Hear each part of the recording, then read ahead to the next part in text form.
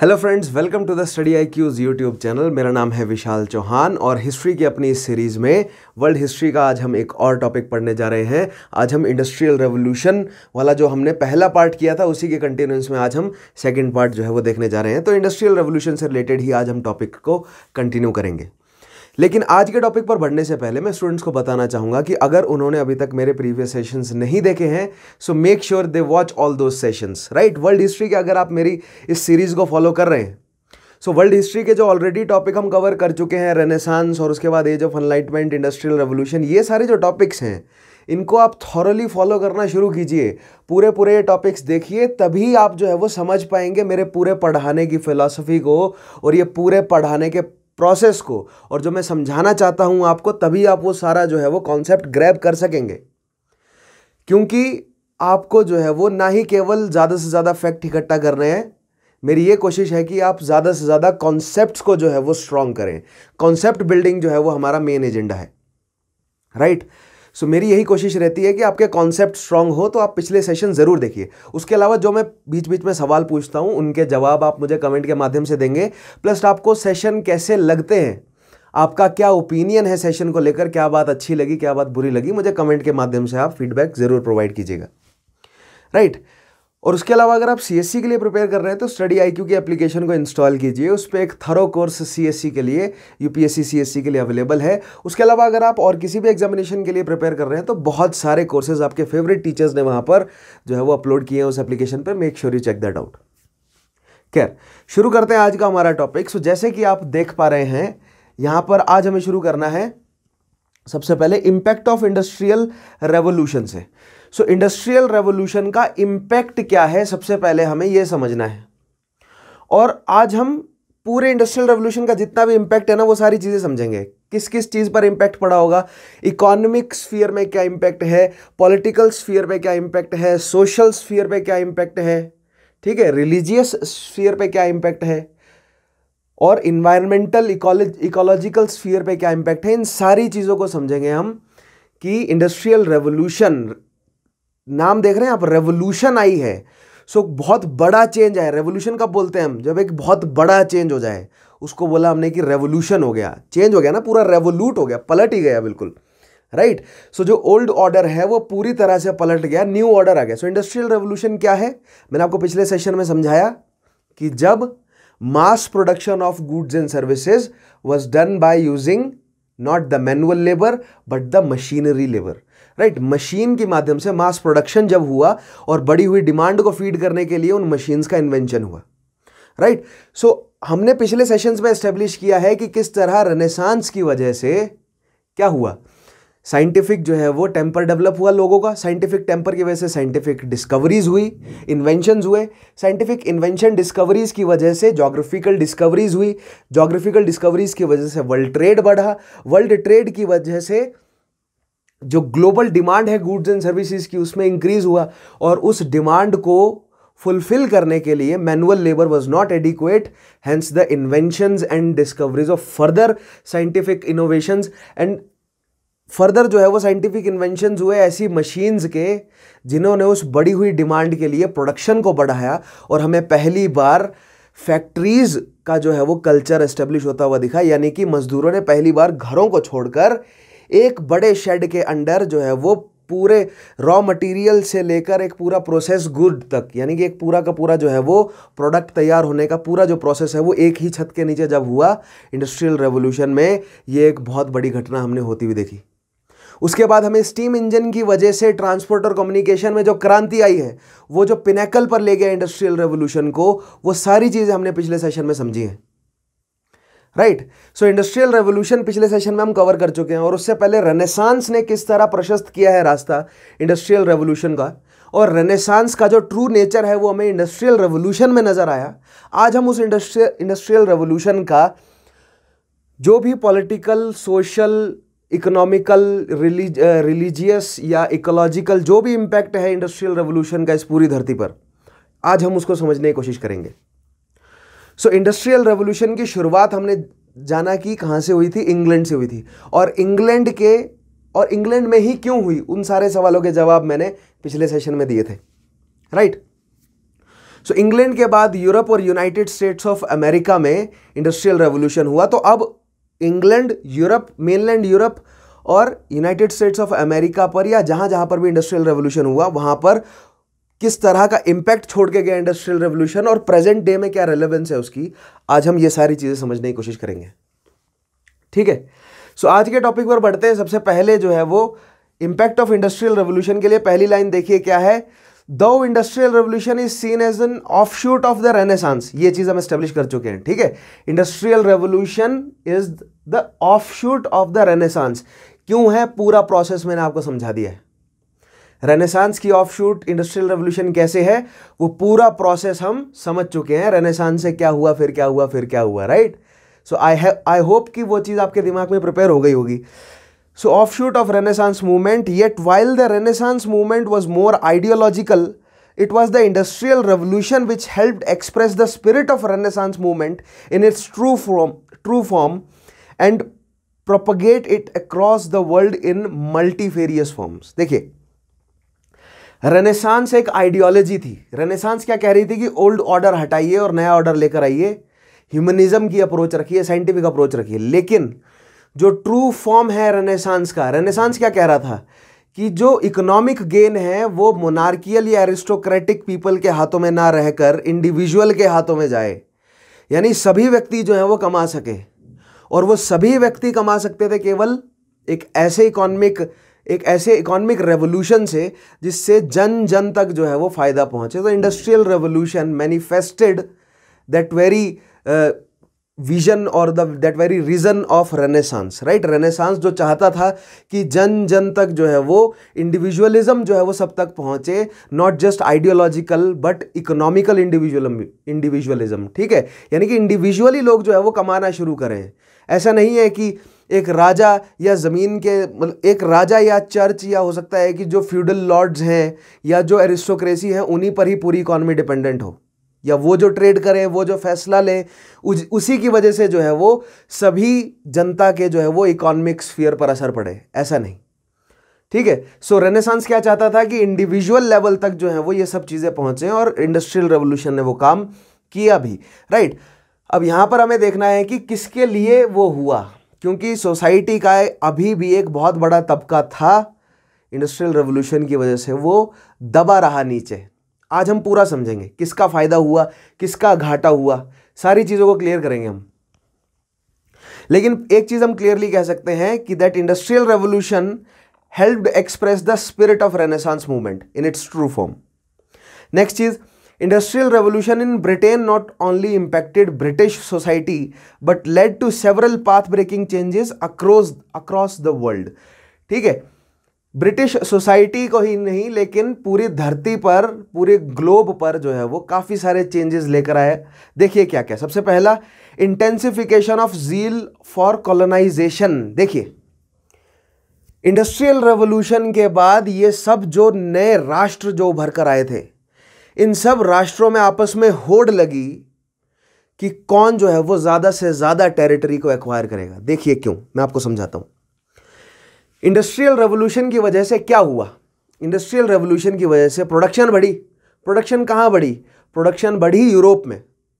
ठीक है? अगर यूरोप में प्रोडक्शन बढ़ गई और जगह जगह घर घर मतलब अगर जगह जगह जो है वो फैक्ट्रीज खुल गई not just in England but also in Europe जगह जगह अगर फैक्ट्रीज खुल गई तो प्रोडक्शन जो है वो बहुत ज़्यादा बढ़ने के कारण यूरोप की जो मार्केट है उसमें डिमांड से ज़्यादा आ गई सप्लाई जब भी डिमांड से ज़्यादा सप्लाई आती है तो गुड्स का प्राइस क्या हो जाता है? गिर जाता है। राइट सो so, जो कैपिटलिस्ट हैं जिन्होंने इन्वेस्ट किया है इन वेंचर्स में इन फैक्ट्रीज में उनको अपना प्रोड्यूस गुड्स का जो है वो मुनाफा देने लायक जो है वो मार्जिन नहीं बचने लगा। इससे उन्होंने क्या कोशिश करी कि अब नया मार्केट एक्वायर किया जाए। यहाँ पर होड़ लगती है कॉलोनाइजेशन की, ताकि नया मार्केट जो है वो ढूंढा जा सके, क्योंकि यूरोप में यूरोप में सेचुरेशन आ गया सभी तो अगर मान लीजिए आप जो है वो एक नया ट्रेंड चला, मान लीजिए एक नया ट्रेंड चला ऑनलाइन टीचिंग का, ठीक है?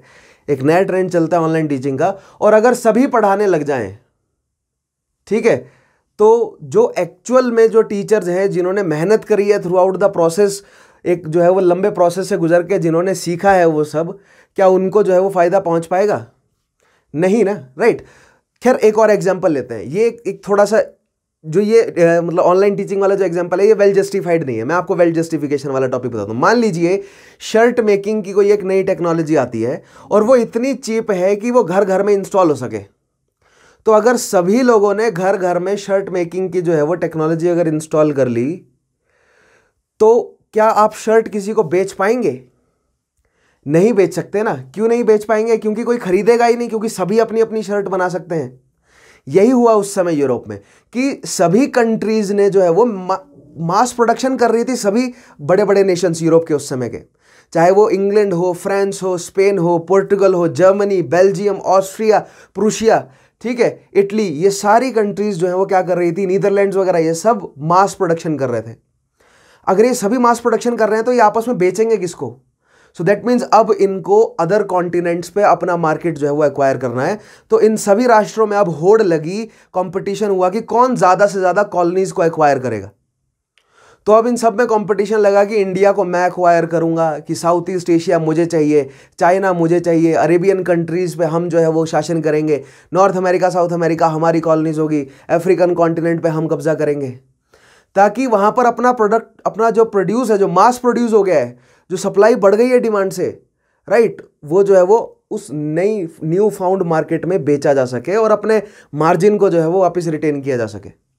Hence the zeal for colonization increased ठीक है? सो कॉलोनाइजेशन करने की जो, ऐसा नहीं है कि पहले कॉलोनाइजेशन करने की उनका एम्बिशन नहीं था। था, लेकिन अब जो है वो एम्पलीफाई हो गया था। क्यों? क्योंकि अब फिर से नेसेसिटी आ गई थी कि अगर कॉलोनाइज नहीं करोगे तो ये जो प्रोडक्ट तैयार हो रहा है, इसको बेच नहीं पाओगे आप। दिस इज़ नॉट अगर आप आगे नहीं बढ़ रहे हैं तो आप स्टेगनेंट हो जाएँगे। आप स्टेगनेंट हो जाएँगे तो कोई और आपसे मज़बूत हो जाएगा और आपके देश को एक्वायर कर लेगा। यही यूरोप में हुआ भी जो कॉलोनाइज नहीं कर पाया, वो अपनी शक्ति को नहीं समृद्ध कर पाया। जो समृद्ध नहीं कर पाया शक्ति को, उसने आसपास की यूरोपियन कंट्रीज़ को अपने कंट्रोल में लिया। जर्मनी ने भी यही किया इंग्लैंड ने भी यही किया फ्रांस भी यही कर रहा था। तो इस सारा झगड़ा ही यूरोप में कॉलोनाइजेशन के ऊपर इंडस्ट्रियल रेवोल्यूशन और ये सारी चीज़ें शुरू कहाँ से हुई हैं? इन वैसे तो देखिए, वैसे तो रेनेसांस एक बहुत पॉजिटिव इंपैक्ट छोड़ना चाहता था धरती पर, लेकिन रेनेसांस की वजह से बहुत ज़्यादा जो है वो युद्ध भी छिड़े ओवर द पीरियड इवेंचुअली जो रेनेसांस से जो ट्रिगर हुए जो भी ए, क्या बोलते हैं सीरीज़ ऑफ़ इवेंट्स वो जाके कल्मिनेट हुए कहाँ पर? विश्व युद्धों में। ठीक है ये एक बहुत इंपॉर्टेंट स्टेटमेंट है इस पर सवाल बनता है। आगे हम डिस्कस करेंगे इन क्वेश्चंस के बारे में। लेकिन यहाँ पर आप समझे सबसे पहला चीज़ intensification of the zeal for colonization colonization करने का जो जील है वो इंटेंसिफाई हो गया। क्यों हुआ? हमने समझ लिया। सेकंड पॉइंट देखिएगा increased competition for profits and territories across the world among these colonies colonial part ठीक है? इंक्रीज कंपटीशन मैंने आपको बताया कंपटीशन तो बढ़ेगा ही प्रॉफिट के लिए। अब वही मान लीजिए कि अगर कैंड प्रोडक्ट या पैक्ड जो है वो प्रोडक्ट या सारी बात छोड़िए शर्ट मैन्युफैक्चर की बात आ गई। तो फ्रेंच भी शर्ट मैन्युफैक्चर कर रहे हैं इटालियन भी कर रहे हैं ब्रिटेन ब्रिटिश भी कर रहे हैं जर्मन भी कर रहे हैं और सब भारत में आकर बेच रहे हैं। भारत से ले जाया गया कॉटन वही भारत से जो कॉटन ले जाया गया, उसी से ही सभी शर्ट और भारत से जो डाई जो नील ले जाई गई है, उसी से ही रंग कर वो सारी शर्टें जो है वो भारत में लाकर बेची जा रही हैं अलग अलग नामों से। ठीक है? सो फॉर एग्ज़ाम्पल इंडिया लेकिन उसके अलावा चाइना साउथ ईस्ट एशिया पूरी दुनिया फॉर दैट मैटर हर कॉन्टिनेंट में यूरोप से जो गुड्स प्रोड्यूस हुए वो बेचे गए। तो सभी मैन्युफैक्चरर्स इरिस्पेक्टिव ऑफ़ देयर मतलब country they wanted the best price for themselves hence competition has risen right competition जो है वो इतना ज़्यादा बढ़ गया था कि अब जो है वो उनको एक दूसरे के, एक दूसरे के प्रॉफिट मार्जिन को काटने की बात आ गई थी। देखिए, यहीं से ही धीरे धीरे हम वर्ल्ड वॉर की जो है वो निकाल के लाएँगे जड़ें। कंपटीशन बहुत ज़्यादा बढ़ गया था तो जो मर्चेंट्स हैं उन दोनों, उनको जो है वो आपस में एक दूसरे के प्राइजेस काट रहे हैं। उन मर्चेंट्स ने देखिए जब तक मर्चेंट्स मर्चेंट्स के प्राइजेस को काटने का काम कर रहे हैं ना, तब तक कंपटीशन हेल्दी है। लेकिन जब मर्चेंट्स ने गवर्नमेंट्स का इस्तेमाल करना शुरू कर दिया, दूसरे देशों की, ठीक है, इसीलिए वो राष्ट्र की भावना है। मान लीजिए एक मर्चेंट इंग्लैंड का है और एक मर्चेंट जो है वो फ्रांस का है, दोनों कॉटन की शर्ट्स बनाने का काम करते हैं। ठीक है, और दोनों की लड़ाई है, मान लीजिए इंडिया में कौन शर्ट बेचेगा। ठीक है तो जब तक वो दोनों मर्चेंट्स आपस में प्राइजेज ऊपर नीचे कर रहे हैं, ये एक हेल्दी कंपटीशन का माहौल है, तब तक ठीक है। लेकिन जब इंग्लिश मर्चेंट ने इंग्लैंड की गवर्नमेंट को जो है वो इन्वॉल्व कर दिया फ्रेंच मर्चेंट ने फ्रेंच गवर्नमेंट को इन्वॉल्व कर दिया, और दोनों गवर्नमेंट अब अपनी फोर्सेज अपने आर्म्ड फोर्सेज का इस्तेमाल करने लगे एक दूसरे के कंपटीशन को ख़त्म करने के लिए, तब हमें युद्ध की स्थितियाँ बनती हुई दिखी। और this is not just one example ऐसा बहुत सारे स्फीयर में और बहुत तरह के बिजनेसेस में ऐसा ही हुआ है। और इवेंचुअली बहुत सारे बिजनेसमैन जो हैं, वो तभी राष्ट्रवाद की भावना राइट इंग्लैंड के सारे बिजनेसमैन अलाइन हुए। उन सब का बिज़नेस इंटरेस्ट है और एक से एक कॉलोनी लाइक मान लीजिए भारत वो उनकी कॉलोनी है, या मान लीजिए दक्षिण मतलब अफ्रीकन उनकी कोई कोई कॉलोनी है साउथ ईस्ट एशिया में कोई कॉलोनी है, या फॉर दैट मैटर यूरोप में भी कोई कॉलोनी है उनकी राइट या यूरोप में ही जो है वो मार्केट को कंट्रोल करने की बात आए। तो अब ये राष्ट्र जो है वो आपस में लड़ेंगे। क्यों लड़ेंगे? क्योंकि जब तक, क्योंकि जो हेल्दी मतलब जो हेल्दी मेथड्स हैं मार्केटिंग के या जो भी जो है वो प्रोडक्ट को प्रमोट करना प्राइसेस घटाना प्राइसेस बढ़ाना, उससे काम नहीं चल रहा राइट उससे मोनोपलाइज नहीं हो रहा मार्केट ठीक है? एक कैपिटलिस्ट इकोनॉमी का एक बहुत इंपॉर्टेंट कैरेक्टरिस्टिक है कि कैपिटलिस्ट इकोनॉमी जो है वो मोनोपलाइजेशन करना चाहता है। ठीक है गुड्स एंड सर्विसेज़ का। उस पर हम आगे आएँगे कि मोनोपलाइजेशन कैसे किया जाता है। लेकिन एक जस्ट मैं आपको एक एक ग्लिम्स देना चाहता था, क्योंकि आगे जब हम, मैं आपको इन्हीं सब कंडीशंस को, ये सारी चीज़ें समझा के जब मैं इनको वर्ल्ड वॉर्स में कन्वर्ट करूँगा, या अन्य बहुत सारी लाइक ऑस्ट्रिया ऑस्ट्रिया में एक्सेशन का वॉर हुआ, या इंग्लिश और फ्रेंच की जो जो भी राइवलरी है, ठीक है यूरोप में भी जो नज़र आई, उसका रिफ्लेक्शन भारत में भी दिखा, उन चीज़ों को जब हम बारीकी से समझेंगे ना तब मैं आपको जो है वो इन्हीं सब चीज़ों को एक्सप्लोर करवाऊँगा कि कैसे मर्चेंट्स के इंटरेस्ट को गवर्नमेंट्स ने बैक किया। समझ रहे मर्चेंट्स के इंटरेस्ट को गवर्नमेंट्स ने बैक किया और नेशन की नेशन से लड़ाई हुई। और आम जनता आपस में लड़ रही है in the name of their king और क्वीन और in the name of their country लेकिन हमें धीरे धीरे समझ आएगा कि नहीं, ये कैपिटलिस्ट लोगों के इंटरेस्ट थे। ठीक है? खैर increase competition for profits and territories across the world among these colonial parts next चीज़ देखिएगा rise of the people's consciousness manifested in various forms on the basis of different ideologies industrial revolution की वजह से हुआ क्या? देखिए industrial revolution से क्या हो रहा है कि एक फैक्ट्री के अंदर काफ़ी सारे मजदूर जगह जगह से आके काम कर रहे हैं। ठीक है, और जो कैपिटलिस्ट है वो चाहता है कि कम से कम इन्वेस्टमेंट में ज़्यादा से ज़्यादा मैं क्या निकाल लूँ प्रोडक्ट ठीक है? तो वो उन मज़दूरों के जितने भी हक हैं, उन मज़दूरों के जितने भी जो हैं, वो राइट्स हैं, उन सब का हनन कर रहा है। ठीक है? पहली चीज़। सो दैट मीन्स मज़दूरों के जो राइट्स हैं, उसके खिलाफ पहली बार जो है वो आवाज़ उठना शुरू हुई as a result of industrial revolution so this is the first new ideological या नया पॉलिटिकल एक स्फीयर जो है वो आता हुआ नज़र आया हमें ट्रेड यूनियंस या लेबर यूनियंस के नाम से। पहली चीज़, ठीक है? ना सेकेंड चीज़ क्या? कि जो इंडस्ट्रियल रेवोल्यूशन हुआ, इससे क्या हुआ? इससे ऑब्वियसली ग्लोबलाइजेशन इंक्रीज हुआ। कई सारे राष्ट्र जो हैं, वो एक दूसरे के संपर्क में आए। कई सारे कल्चर्स एक दूसरे के संपर्क में आए। टेक्नोलॉजीज़ का जो है, वो लेन देन हुआ, ठीक है? तो टेक्नोलॉजीज़ का लेन देन हुआ तो कल्चर का लेन देन हुआ फिलोसफीज का लेन देन हुआ सोशल आइडियोलॉजीज का लेन देन हुआ। तो भारत में वेस्टर्न फिलोसफीज पहुँचने लगी।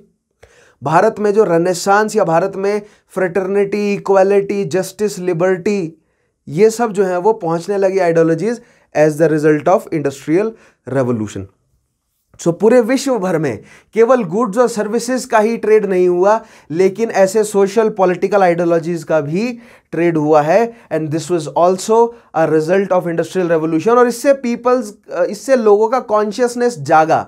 लोग जो अभी तक अपने राष्ट्र को या अपने सूबेदार को, राजा को जो माई बाप मान के बैठे हुए थे, अब उन लोग, लोगों के जो है वो दिमागों में जागृति आनी शुरू हुई कि नहीं, माई बाप वाला सीन जो है ये गलत है, ये चर्चेज ये मंदिर, ये मस्जिदें, ये मास पॉपुलेशन को कंट्रोल कर रही हैं। लोगों को ये बातें समझ आने लगी। और ये जो मास पॉपुलेशन को कंट्रोल करने का काम है ना, इससे पहले फ़ायदा उठा रहे थे कौन? मोनार्क्स एरिस्टोक्रेट्स बड़े ज़मींदार।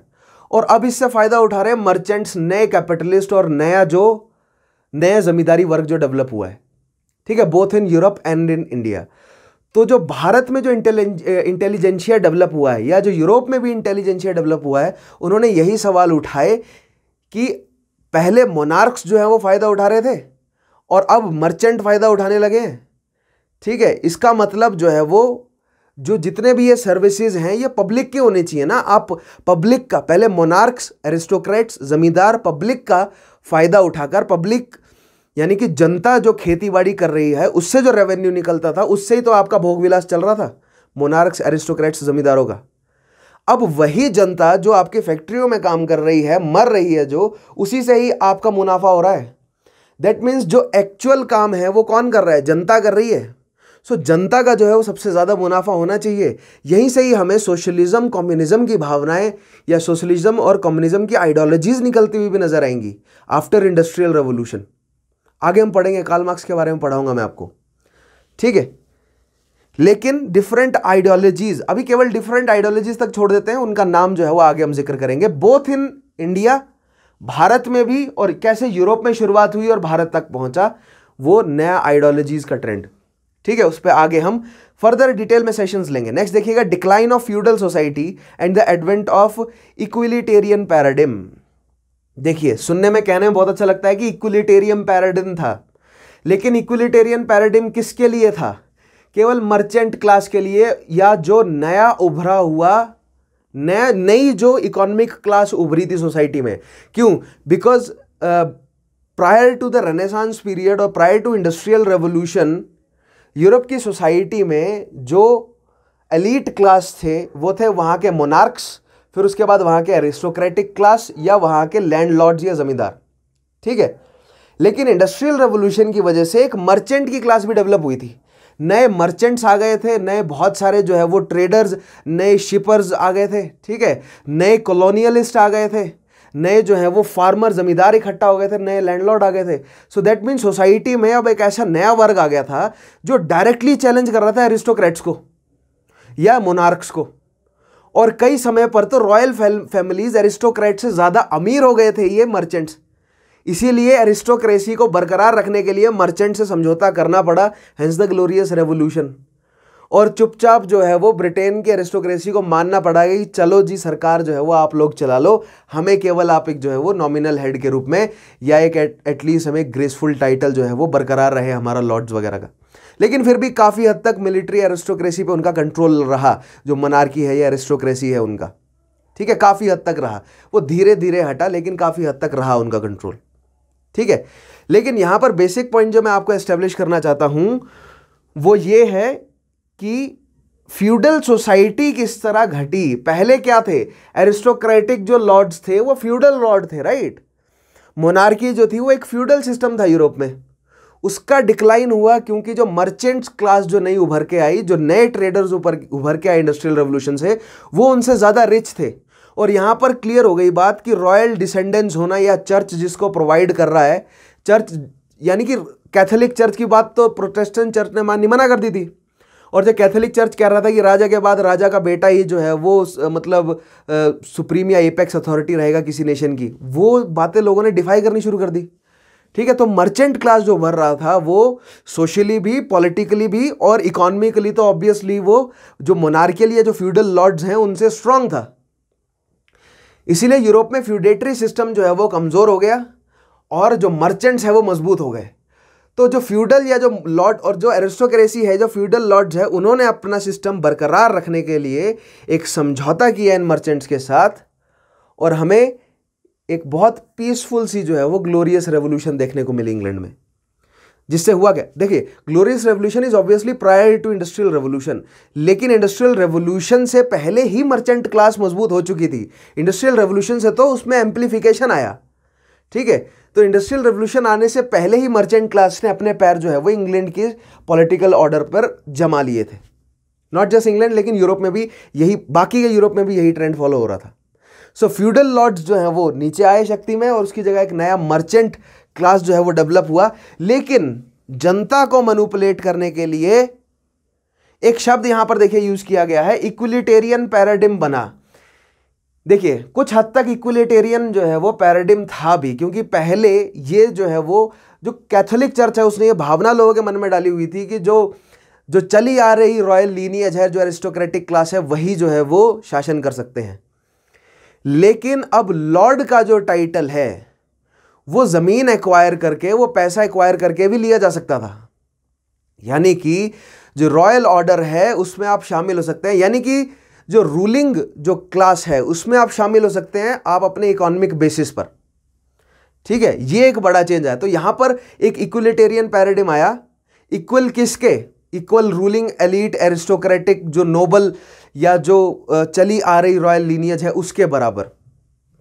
ठीक है? तो यहाँ पर आपके लिए सवाल यह है कि क्या सभी क्या सभी उस इक्विलिटेरियन पैराडिम में शामिल इक्विलिटेरियन पैराडिम क्या सभी के लिए था? राइट? क्या जन, सारी जनता बराबर हो गई थी?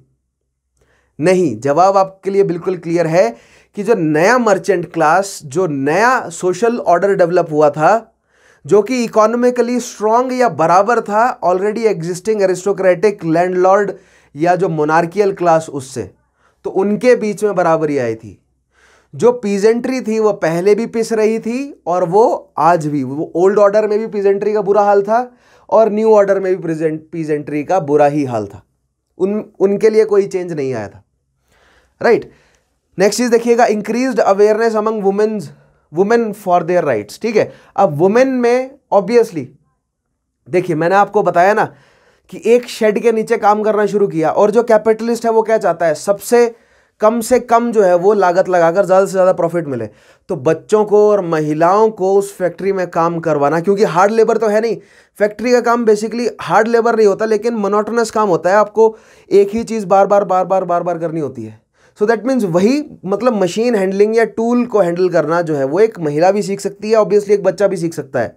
एक पुरुष तो कर ही रहे थे वो काम।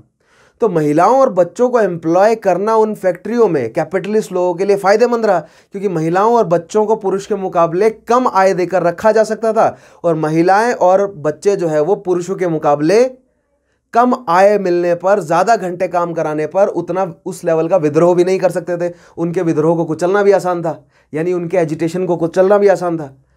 सो so, महिलाओं का एक्सप्लॉयटेशन हुआ बहुत बड़े लेवल पर। भले ही महिलाओं की हालात कॉटेज इंडस्ट्री में जब वो काम कर रही थी, उससे रिलेटिवली बेहतर हुई। लेकिन पुरुष जो लेबर पुरुष जो फैक्ट्री में काम कर रहे थे, उनसे उनके हालात बुरे थे। प्लस महिलाओं को हर तरीके का डिस्क्रिमिनेशन जो है, वो irrespective if they are working on equal stand बराबर जो है, वो स्टैंडर्ड पे काम कर रहे हैं एक पुरुष के। डिस्क्रिमिनेशन मिला उनको किस पे? सैलरी पे भी उनको सैलरी जो है, वो आधी मिली लगभग पुरुषों से। उसके अलावा उनको जो है, वो और भी बहुत सारे बेनिफिट्स जो है वो नहीं दिए गए।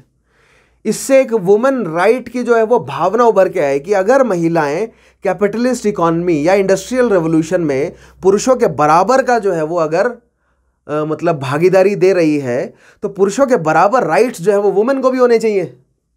ऑब्वियसली तो यहाँ पर वुमेन राइट एक्टिविज्म जो है वो हमें सबसे पहली बार नज़र आता है। So this is also a by product of industrial revolution ये बात भी हमें ध्यान रखनी है। Next cheese rise of the trade union emergence of concept of democracy and liberalism to the new to name a few of them right rise of the trade unions emergence of concept of democracy and liberalism trade union अब देखिए, अब ऐसा नहीं है कि महिलाओं का ही दमन हो रहा था, दमन सभी तरह के लेबर्स का हो रहा था, सभी तरह के लेबर्स में महिलाओं और बच्चों का ज़्यादा दमन हो रहा था। लेकिन दमन, यानी कि ऑपरेशन जो है, वो सभी लेबर्स का हो रहा था, सभी लेबर्स को जो है, वो एक्सप्लॉइट किया जा रहा था। उनकी हालत बद से बदतर थी। बहुत बुरी हालत थी। बच्चे बदतर नहीं, आज मैं आपको बताऊँगा कितनी बुरी हालत थी, ठीक है? आज उसी पूरी चीज़ को हम कवर करेंगे। लेकिन यहाँ से हुआ क्या कि धीरे धीरे देखिए, उन हज़ारों लेबर्स को कंट्रोल करने के लिए अब सभी के सभी लेबर तो स्किल्ड नहीं हो सकते ना। उनमें से कुछ परसेंट ऑफ़ लेबर जो है वो स्किल्ड होगा। और वो जो स्किल्ड लेबर है, वो मैनेजमेंट के लिए इर इर इरिप्लेसेबल है। तो उस स्किल्ड लेबर को खुश रखना मैनेजमेंट की ज़िम्मेदारी है। अगर वो स्किल्ड लेबर उस पीजेंट्री या अनस्किल्ड लेबर के साथ जुड़कर अगर विद्रोह कर देता है मैनेजमेंट के खिलाफ तो मैनेजमेंट जो है वो उन अनस्किल्ड लेबर को तो रिप्लेस कर सकती है नए लेबर ले आएगी। लेकिन जो स्किल्ड लेबर है उनको कैसे रिप्लेस करेंगे? स्किल्ड लेबर बनाने के लिए और कैपिटल इन्वेस्ट कर, इन्वेस्ट करना पड़ेगा। और वो कैपिटलिस्ट इकोनॉमी के जो उनके रूल है उनकी जो गाइडलाइंस है उसके खिलाफ है कि नया कैपिटल इन्वेस्ट नहीं करना कम से कम इन, कम से कम इन्वेस्टमेंट में ज़्यादा से ज़्यादा फ़ायदा निकालना है। ठीक है? सो दैट मीन्स हमें यहाँ पर इस तरह के स्किल्ड लेबर की लीडरशिप में हमें ऐसे ट्रेड यूनियंस ऐसे जो है वो लेबर यूनियंस बनते हुए नज़र आए, जिन्होंने लेबर पहली बार ऐसे लेबर यूनियंस बनते नज़र आए, जिन्होंने लेबर्स के हक के लिए जो है वो आवाज़ें उठानी शुरू करी। यानी कि लेबर राइट्स की जो है वो पहली बार बात आई। सो इंडस्ट्रियल रेवोल्यूशन से हमें women right activism labour right activism नज़र आया। इंडस्ट्रियल रेवोल्यूशन की वजह से हमें क्या नज़र आया? वर्ल्ड ट्रेड तो ऑब्वियसली जो है वो बढ़ा ही लेकिन कॉलोनाइजेशन भी बढ़ा और आइडियोलॉजीज का आदान प्रदान भी हुआ पूरे विश्व में। सो so, इन्हीं सारी चीज़ों को अब हम डिटेल में समझते हैं। ये एक बेसिक इंट्रोडक्शन था कि आज हमें क्या क्या पढ़ना है। ठीक है? और बैकग्राउंड आई सपोज़ आपको थॉरली प्रिपेयर्ड है कि बैकग्राउंड में हमारा इंडस्ट्रियल रेवोल्यूशन कैसे आया रेनेसांस क्या था वो सारी चीज़ें मैं ये मान के चल रहा हूँ कि आपने पिछले सेशंस देखे होंगे। और वो सारी चीज़ें आपको पता होंगी। तो if you have stumbled upon this session कि आप एकदम से इस सेशन पर पहुँच गए पिछले सेशंस नहीं देखे हैं so make sure you watch all दो सेशंस तभी आप जो है वो मेरे आगे के सेशंस के साथ कनेक्ट कर सकेंगे। बहुत ज़रूरी है मेरी जो, मेरा जो पढ़ाने की फ़िलासफ़ी है, मेरी जो मेरी जो पढ़ाने की टेक्निक्स हैं वो बहुत इंपॉर्टेंट है, वो क्योंकि अगर आप मेरा कोई एक सेशन देखेंगे ना तो आप कनेक्ट नहीं कर पाएँगे। क्योंकि अगर आप रेगुलरली फॉलो कर रहे हैं ना so you can vouch for this right आप आप समझते होंगे कि एक सेशन से आप नहीं समझ पाएँगे, आपको पाँच सात सेशन मेरे देखने पड़ेंगे, तब जाके आपको, और एक बार आपको इंटरेस्ट आने लग गया तो आप छोड़ भी नहीं सकते फिर। ये भी मैं आपको बताऊँ, पूरा आपको पढ़ना ही पड़ेगा। क्योंकि बहुत मज़ा आएगा आपको जिस तरह का इतिहास की समझ में डेवलप करके दूँगा ना आपको। उसके बाद आप किसी भी एग्जामिनेशन में बैठो। मैं बोल रहा हूँ ना, कोई भी एक दिवसीय एग्जामिनेशन हो, या अगर आप यूपीएससी का मेंस लिखने जा रहे हो, हर जगह, आप एक बार ना एक्सपेरिमेंट करके देखिए। सात दिन तो इन्वेस्ट कर सकते हैं ना आप, ठीक है? सात दिन आप मेरे सेशंस देखिए, कोई भी एक टॉपिक मान लीजिए मॉडर्न उठाइए। मॉडर्न में, अगर मान लीजिए आपको गांधी जी के पीरियड की जितनी भी जो है जो भी क्या बोलते हैं एजिटेशन हुई हैं, उनसे रिलेटेड जो भी टॉपिक है, उनको सात दिन में पढ़िए। और फिर आंसर राइटिंग करके देखिए, क्या आपकी आंसर राइटिंग में इंक्रीमेंट या आपको बढ़ोतरी या इंप्रूवमेंट नज़र आई या नहीं। ठीक है? खैर आगे बढ़ते हैं। नेक्स्ट आएगा अब इकोनॉमिक इंपैक्ट समझते हैं क्या है। सो so, पहले हमने इंट्रोडक्शन देखा कि किस तरह के इंपैक्ट होने जा रहे हैं। अब हम एक एक करके सबको जो है वो एक्सप्लोर करते हैं। सो इंडस्ट्रियल रेवोल्यूशन का इकोनॉमिक इंपैक्ट पढ़ते हैं सबसे ज़रूरी। देखिए इकोनॉमी पे मैं बार बार फोर्स डालता रहता हूँ। क्योंकि बहुत हम जो है वो बहुत नाइव हैं। आम जनता बहुत नाइव होती है। हम नहीं समझते कि इकॉनमी पर ही नेशन रन कर रहे हैं। इकॉनमी पर ही ये जो इकोनॉमिक सिस्टम डेवलप्ड है पूरा इस समय ग्लोबल ट्रेडिंग का। अगर आप इस पूरे इकोनॉमिक सिस्टम को समझ गए ना तो आप पॉलिटिकल सिस्टम भी समझ जाएँगे, आप सोशल सिस्टम भी समझ जाएँगे। क्योंकि जो क्योंकि हम ना हम प्रेफरेंस नहीं देते इकॉनमी सब्जेक्ट को। और यही जो है वो कैपिटलिस्ट की सबसे बड़ा मतलब उनको इस चीज़ का सब नॉट सबसे बड़ा, लेकिन बहुत ज़्यादा फ़ायदा है कि जो आम जनता है, वो किस तरह की इकोनॉमी चल रही है, उस पर ज़्यादा ध्यान देता ही नहीं है। ठीक है? तो आम जनता या हम जो मतलब थर्ड वर्ल्ड कंट्री खास जैसी थर्ड वर्ल्ड कंट्री के जो हम, हमारी जो पॉपुलेशन है, हम इकॉनमी को या जो ग्लोबल लेवल की जो इकॉनमी है, उसको हम अच्छे से नहीं समझ सकते हैं। चाइना जो कर रहा है, वो क्यों कर रहा है? यूएस और चाइना के जो है वो इकोनॉमिक इंटरेस्ट में कॉन्फ्लिक्ट क्यों है? यूएसएसआर की पोजीशन क्या है? यूरोप जो है वो क्यों कमज़ोर है? ऑस्ट्रेलिया जो है वो साउथ ईस्ट एशिया के साथ क्या कर रहा है? ये सारी चीज़ें हमें समझनी पड़ेगी ग्लोबल परस्पेक्टिव जनरेट करना पड़ेगा, तभी। समझ रहे हैं? भारत सुपर पावर केवल भाषणों से नहीं हो जाएगा। ठीक है, इन छोटी छोटी चीज़ों को आपको समझना पड़ेगा। आम जनता को एजुकेट करना पड़ेगा। आम जनता को जब तक आप नहीं सिखाओगे ना ग्लोबल ऑर्डर क्या है? नया ऑर्डर क्या है? आम जनता को जब तक आप नहीं सिखाओगे कि दुनिया किस तरह चल रही है, भारत सुपर पावर कैसे बनेगा? क्या भारत सुपर पावर केवल कह देने भर से है या नई वेबसाइट्स पे फ़ोटोज़ डाल देने भर से है? नहीं। ठीक है, कोई भी राष्ट्र बना है उसकी जनता से। एक बात ध्यान रखिएगा, राष्ट्र बना है जनता से, ना ही सरकार, ना ही नेता। ठीक है, राष्ट्र बना है जनता से। अगर जनता ग्लोबल होगी, तभी भारत ग्लोबल शक्ति है। यह बात मेरी आज समझ आएगी आपको। हो सकता है आज से पाँच साल बाद समझ आए, दस साल बाद समझ आए, लेकिन मैं नहीं चाहता कि देर हो जाए समझने में आपके, ठीक है? खैर नेक्स्ट देखिएगा इकोनॉमिक इफेक्ट्स पहला पॉइंट है the industrial revolution led to an exponential growth in the number of factories and industrial installations by incorporating the latest inventions resulted in increased production. तो ये चीज़ें हम ऑलरेडी एस्टेब्लिश कर चुके हैं, ठीक है? इंडस्ट्रियल रेवोल्यूशन से क्या हुआ? प्रोडक्शन इंक्रीज हुई ऑब्वियसली और वो प्रोडक्शन कैसे इंक्रीज हुई? मैनुअल लेबर से मशीनी लेबर आया। मशीनी लेबर भी किस तरीके का? जो ज़्यादा से ज़्यादा प्रोडक्शन दे। यानी ऐसे नहीं है कि मशीन बना दी तो चलो ठीक है। क्योंकि आज जो कंप्यूटर हमारी जेब में फिट हो जाता है सेलफोन के रूप में एंड्रॉयड डिवाइसेस के रूप में राइट यही कंप्यूटर पहले बड़ी बड़ी बिल्डिंग के बराबर हुआ करते थे। सो नॉट जस्ट बिकॉज़ मशीनें आ गई तो प्रोडक्शन बढ़ गई, लेकिन नई नई जो है वो मशीनें, ज़्यादा एफिशिएंट मशीनें राइट सो जब धीरे धीरे मशीनों की एफिशिएंसी बढ़ती गई लेटेस्ट इन्वेंशंस की वजह से प्रोडक्शन जो है वो बढ़ता गया। So industrial revolution increase the production दो चीज़ें हम समझ गए, ठीक है? ये कैसे हुआ है? लेटेस्ट इन्वेंशन से। ठीक है? तो ये जो कीवर्ड्स हैं, आपके दिमाग में एकदम मतलब बसे होने चाहिए कीवर्ड्स तो। नेक्स्ट देखिएगा increase production was channelise to various market across the world which led to a jump in the quantum of trade volumes across the world which started yielding huge profits towards the industrialised nations देखिएगा, मैंने आपको बताया ना, Europe में production बढ़ गई तो Europe में तो सरप्लस हो गया। तो वहाँ के तो मार्केट होने लगे क्रैश इसीलिए कॉलोनाइज करना उनके लिए अनिवार्य हो गया। कॉलोनाइज किया गया, भारत पहुँचा गया तो देखा तो भारत में अमीर लोग ही बहुत हैं। भारत में डंप करो सामान। ठीक है? नॉट जस्ट इंडिया लेकिन मान लीजिए अफ्रीकन जो कंट्रीज़ हैं नॉर्थ अमेरिका साउथ अमेरिका में जो उन्होंने सामान बेचे अपने किन्होंने जो जो इंडस्ट्रियलाइज्ड नेशन जो डेवलप हुए हैं यूरोप में इंडस्ट्रियल रेवोल्यूशन की वजह से, जैसे कि इंग्लैंड सबसे पहले, फिर उसके बाद France Germany Belgium Austria Switzerland Italy Prussia ये सब राष्ट्र जो बने इंडस्ट्रियली रेवोल्यूशनाइज हुए ये। इन्होंने जो कॉलोनीज को एक्वायर किया, उन कॉलोनीज पर जब इन्होंने सामान डंप करना शुरू किया तो बहुत प्रॉफिट हुआ इन्हें। सो मार्केट तो आपको समझ आया ना? मैंने तीन चीज़ें बताई थी ना आपको पिछले सेशन में।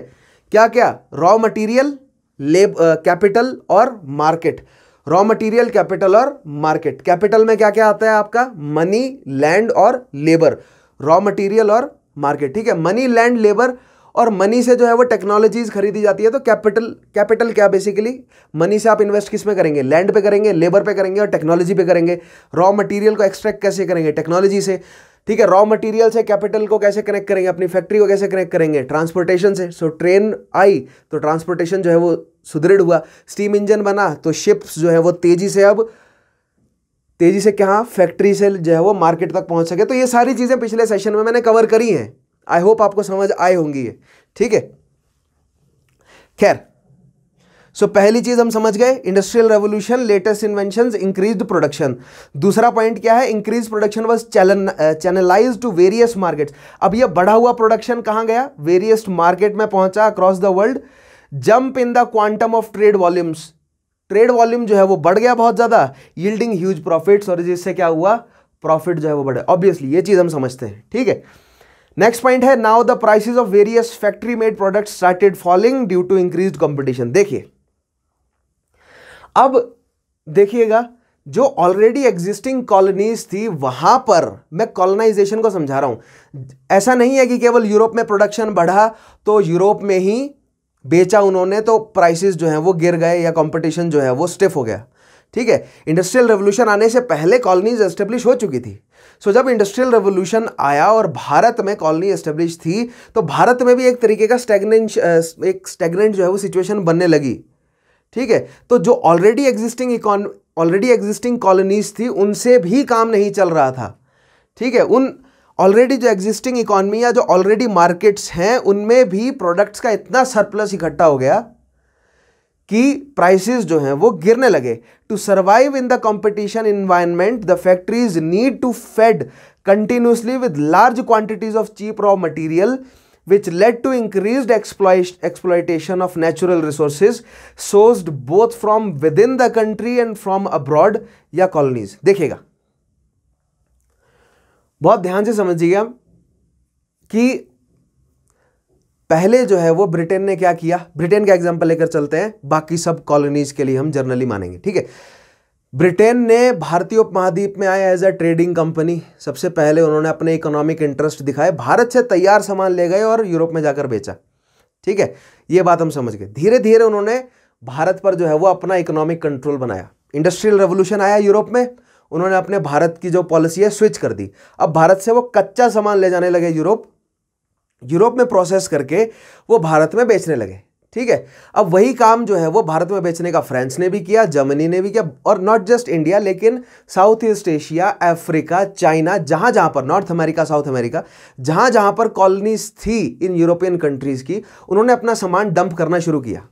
देखिए पहली बार इकोनॉमिक स्टेग्नेशन आया था जब कॉलोनीज जो हैं वो ज़्यादा नहीं थी या कॉलोनीज पर पॉलिटिकल कंट्रोल नहीं था इन यूरोपियन शक्तियों का, जब इंडस्ट्रियल रेवोल्यूशन का इनिशियल बूम आया था, तब आया था स्टेग्नेशन और दूसरा स्टेग्नेशन तब आया जब उन्होंने कॉलोनीज को एक्वायर कर लिया, ठीक है 1833 के बाद भारत को पूरी तरह से एक्वायर कर लिया ना। ठीक है, अंग्रेज़ों ने। और उसी तरह फ्रांस ने, स्पेन ने, पोर्टुगल ने डचेज ने, स्विट्जरलैंड ने, जर्मनी ने अपनी अपनी कॉलोनीज को पूरी तरह पॉलिटिकली एक्वायर कर लिया। और वहाँ पर वो अपने प्रोडक्ट को डंप कर रहे हैं। एक दूसरा इकोनॉमिक्स जो है वो स्टेग्नेशन तब आया। क्यों? क्योंकि कुछ सालों तक तो उन्होंने प्रोडक्ट डंप किया, लेकिन फिर से जो है वो स्टेबल स्टेपल हो या फिर से जो है वो स्टेगनेंट हो गई इकॉनमी अब फिर से जो है वो इंडस्ट्रियल रेवोल्यूशन में बूम लाने के लिए उन्होंने जो प्रोडक्शन कॉस्ट है उसको घटाने के बारे में सोचा। या थ्रू आउट द प्रोसेस भी वो प्रोडक्शन कॉस्ट को घटाने के बारे में ही सोचते रहे। सो so, प्रोडक्शन बढ़ाना कॉलोनीज मार्केट को एक्सपेंड करना ज़्यादा से ज़्यादा मार्केट पर अपना पॉलिटिकल कंट्रोल होना ये सारी चीज़ों के साथ साथ चीप से चीप रॉ मटेरियल चीप से चीप लेबर चीप से चीप टेक्नोलॉजी यानी कम से कम कैपिटल इन्वेस्ट करना पड़े, इस स्फीयर में भी जो है वो इंडस्ट्रियल रेवोल्यूशन ने उतना ही ध्यान दिया, जितना ध्यान जो भी कैपिटलिस्ट हैं या जो भी कॉलोनिस्ट है या एम्पेरियलिस्टिक शक्तियाँ हैं, उन्होंने पॉलिटिकल कंट्रोल गेन करने को दिया या अपने मार्केट को एक्सपेंड करने पर दिया। दोनों चीज़ों पर बराबर ध्यान दिया उन्होंने। तो रिज़ल्ट रिज़ल्ट में हमें क्या नज़र आया? हमें रिज़ल्ट में नज़र आया ऐसी टेक्नोलॉजीज़ जिससे प्रोडक्शन की कॉस्ट घट गई, ऐसी टेक्नोलॉजीज़ जिससे चीप क्वालिटी का लेबर चीप क्वालिटी का रॉ मटेरियल इनसे जो है वो प्रोडक्ट को प्रोड्यूस किया जा सके। ठीक है? तो आज के डेट में अगर आप किसी भी प्रोडक्ट को इस्तेमाल कर रहे हैं और अगर आप कहते हैं कि आज से 20 साल पहले इस प्रोडक्ट की क्वालिटी अच्छी थी तो ये रहा आपके सामने लाइव एग्जांपल ठीक है, मुनाफे को बढ़ाने के लिए प्रोडक्ट की क्वालिटी घटानी पड़ती है, तभी तो मुनाफा बढ़ेगा ना। क्योंकि रॉ मटेरियल में लेबर में या जितने भी इंग्रेडिएंट इन, जितने भी इंग्रेडिएंट्स लगते हैं उस प्रोडक्ट को प्रोड्यूस करने में, उसकी ओवरऑल क्वालिटी घटेगी, तभी उस कैपिटलिस्ट की क्या बढ़ेगा? मुनाफा बढ़ेगा राइट सो अगर आप आज बैठे हुए या अगर मान लीजिए आप मेरी एज ग्रुप के हैं, या हमसे जो एक जनरेशन ऊपर के लोग हैं या दो जनरेशन ऊपर के लोग हैं, या आपके अगर पेरेंट्स हैं तो उनसे पूछिएगा कि उनके ज़माने में कोई भी अगर प्रोडक्ट जो आज तक चल रहा हो, ठीक है, क्या उसकी क्वालिटी बेटर थी या आज की क्वालिटी बेटर है? तो जवाब जो है वो आपका इस तरह का मिलेगा आपको कि उस समय जो है वो चीज़ों की क्वालिटी अच्छी हुआ करती थी। तो देखिए, ये तो मैं आपको बोल रहा हूँ जो बीसवीं शताब्दी से इक्कीसवीं शताब्दी का चेंज है। ठीक है? तो सोच के देखिएगा, सत्रहवीं शताब्दी से अठारहवीं शताब्दी, यानी सेवनटीन से एटीन और एटीन से नाइनटीन में जो चेंज आया नाइनटीन से ट्वेंटी में जो चेंज आया, किस तरह quality over over the period घटती चली आई है? ठीक है? इसका मतलब ये नहीं है कि इंक्रीज नहीं हुआ बहुत सारे ऐसे लाइक ऑटोमोबाइल्स हैं। पहले ऑटोमोबाइल्स जो हैं, वो टेक्नोलॉजिकली बहुत जो है, वो साउंड नहीं थे और जो सेफ्टी वाइज बहुत वीक थे। आज की जो ऑटोमोबाइल्स हैं they are practically unbeatable right जो आज के जो ऑटोमोबाइल्स हैं, वो फिफ्टीज़ या सेवेंटीज़ के ऑटोमोबाइल से जो है, वो काफ़ी आगे हैं, काफ़ी बेहतर हैं। लेकिन और बहुत सारे सिंपल सी बात है टेक्सटाइल टेक्सटाइल अगर आप आज से 20 साल पहले का टेक्सटाइल जो आप देखेंगे तो बहुत बेहतरीन क्वालिटी है। आज का जो कॉटन है, वो आपको उतनी अच्छी क्वालिटी का नहीं मिलेगा। वही वही जो ये जो क्वालिटी में जो डिक्रीज आया, ठीक है, ये मैं आपको समझाऊँगा ग्लोबलाइजेशन की वजह से किस तरह जो है वो भारत में भी चीज़ों की क्वालिटी जो है वो ख़राब हुई है, ठीक, इसको हम आगे आके समझेंगे, ठीक है, और जब मैं आपको पोस्ट इंडिपेंडेंस समझाऊँगा तो वहाँ पर भी इकोनॉमिक इंपैक्ट जो समझाऊँगा मैं आपको तो ये मार्केट में ट्रांसफॉर्मेशन ठीक है चीप क्वालिटी का जो है वो सामान तैयार करने की जो होड़ लगी भारत में, वो चीज़ें भी आपको समझाऊँगा, लेकिन वो अभी कहाँ हो रहा है, वो अभी हो रहा है यूरोप में इस समय, ठीक है, क्यों हो रहा है वो? जो सेकेंड फ़ेज़ है इकोनॉमिक स्टेग्नेशन का, उसको ओवरकम करने के लिए, ठीक है? So large quantities of cheap raw material which led to increase exploitation of natural resources अब देखिए नेचुरल रिसोर्सेज को एक्सप्लॉइट किया जाना शुरू किया गया। पहले कोल को कोक में कन्वर्ट किया जाता था और फिर उसको यूज़ किया जाता था, ठीक है? अब कोशिश की गई कि सबसे सस्ता कोल जहाँ से मिले, उसको उठाओ, उसको जलाओ और काम चलाओ, ठीक है? नेक्स्ट देखिएगा increase wealth generation led to the development of more and more cities and development of transportation and communication system across the length and breadth of the nation ठीक है? देखिए, अब इकोनॉमिक इफ़ेक्ट में दूसरी चीज़ एक और हुई कि नई सिटीज़ डेवलप हुई। बहुत सारी नई सिटीज़ डेवलप होती हुई नज़र आई, ठीक है? ऑब्वियसली क्योंकि नए फैक्ट्रीज देखिए, जहाँ पर नए फैक्ट्रीज डेवलप हुए, वहाँ पर जो है वो लोगों ने आना शुरू कर दिया, दूर दूर पार के मतलब जितने भी यूरोप की बात कर रहा हूँ मैं, या यूनाइटेड स्टेट ऑफ़ अमेरिका की बात कर रहा हूँ, दूर पार के गाँव के जो लोग थे, उन्होंने उन फैक्ट्रियों में काम करना आना शुरू कर दिया। उसके आसपास उन्होंने जो है वो रहना शुरू कर दिया। फैक्ट्री के आसपास, वहाँ पर मार्केट एस्टेब्लिश शुरू होने लग गई। वहाँ पर एक फैक्ट्री लग गई तो एक और फैक्ट्री लग गई, दो तीन और फैक्ट्री लग गई मार्केट डेवलप होता गया धीरे धीरे मर्चेंट्स ने वहाँ पर अपने जो है वो, अपने इंस्टीट्यूशंस और और जो भी इंस्टीट्यूशन है, वो एस्टेब्लिश करने लगे। वहाँ की जो एग्जिस्टिंग गवर्नमेंट है, उसको देखा कि यहाँ पर पॉपुलेशन बढ़ गई है तो यहाँ पर अब एडमिनिस्ट्रेशन भी हम जो है, वो सुदृढ़ करने की कोशिश करते हैं। तो इस तरह धीरे धीरे सिटी डेवलपमेंट होता है। ठीक है? तो सिटी डेवलपमेंट भी जो है, वो एक बहुत इंपॉर्टेंट पॉइंट यहाँ पर हमें देखने को मिला। और ट्रांसपोर्टेशन और कम्युनिकेशन के जो टेक्नोलॉजीज़ है, उनमें तो इंप्रूवमेंट आया ही। नेक्स्ट देखिएगा। This was followed by influx of rural population नई सिटीज़ बनी, नई फैक्ट्रीज बनी तो रूरल पॉपुलेशन का इन्फ्लक्स हुआ to this cities in search of jobs and better living देखिए नई फैक्ट्री बनी उसमें मजदूर आए, उन मजदूरों ने रहना शुरू किया उस फैक्ट्री के आसपास। मार्केट डेवलप हुआ धीरे धीरे एक सिटी बनने लग गई। अगर एक सिटी बन गई तो और दूर पार के जो मजदूर हैं, उनको ये सुनने में आया कि हमारे आसपास एक नई सिटी बनी है, वहाँ पर नई फैक्ट्रियाँ खुल गई हैं, चलो काम करें। तो धीरे धीरे क्या हो रहा है, यहाँ पर चीप लेबर का इन्फ्लक्स बढ़ता जा रहा है और सिटी का जो एक्सपेंड सिटी जो है वो एक्सपेंड करती जा रही है both in terms of population as well as infrastructure ठीक है? बढ़ता जा रहा है सिटी का। नेक्स्ट पॉइंट देखिएगा। Development of trade activities had to be necessarily supported by an improved and efficient banking system which in turn was sustained by the huge profits which the trading exercise generated एक और नया एक और जो है वो नया इकोनॉमिक इंपैक्ट ये पड़ा कि हमें एक नया इंप्रूव्ड बैंकिंग सिस्टम मिल गया 1694 इंग्लैंड में जो है वो इंग्लैंड का जो बैंक बना ठीक है उसके बाद मैंने आपको बताया कि किस तरह आगे आने वाले कुछ सालों में बैंक्स की संख्या जो है वो चार गुना, छह गुना बढ़ गई। ठीक है? तो बैंक्स जो है वो मतलब हर शहर में बैंक ही बैंक खुल गए। इसका मतलब ये है कि बहुत सारी इंडस्ट्रीज़ जो हैं वो थ्रू आउट इंग्लैंड में लग गई थी। आप समझने की कोशिश कीजिएगा, पूरे इंग्लैंड में बहुत सारी इंडस्ट्रीज़ बन गई थी, बहुत सारी। ठीक है? सो एक नया बैंकिंग सिस्टम भी हमें डेवलप होता हुआ नज़र आया। किसकी वजह से? इंडस्ट्रियल रेवोल्यूशन की वजह से। This was these were the economic impacts now let us study about the urban infrastructure now urban infrastructure के साथ क्या हुआ? बेसिकली अर्बन इंफ्रास्ट्रक्चर का कलेप्स हुआ, ठीक है? जो ऑलरेडी एग्जिस्टिंग पुरानी सिटीज़ थी, वो पुरानी cities they were not designed right वो डिजाइंड नहीं थी, वो प्लैंड टाउन नहीं था, या प्लैंड सिटीज़ नहीं थी। And those cities were not capable of holding such large population लाखों में अगर लोग आकर, अगर बसना शुरू कर देंगे तो उस चीज़ को वो होल्ड नहीं कर सकते। ठीक है, लायक नहीं था। दूसरी चीज़, जो इंडस्ट्रीज़ की वजह से जो वेस्टेज प्रोड्यूस हो रहा था नॉट जस्ट इंडस्ट्रियल वेस्ट लेकिन जो इंडस्ट्रीज़ में, जो इतनी बड़ी संख्या में मजदूर रह रहे थे, उनका जो वेस्टेज था, उस वेस्टेज का मैनेजमेंट उन सिटीज़ की बस का नहीं था, जो ऑलरेडी एग्जिस्टिंग सिटीज़ थी।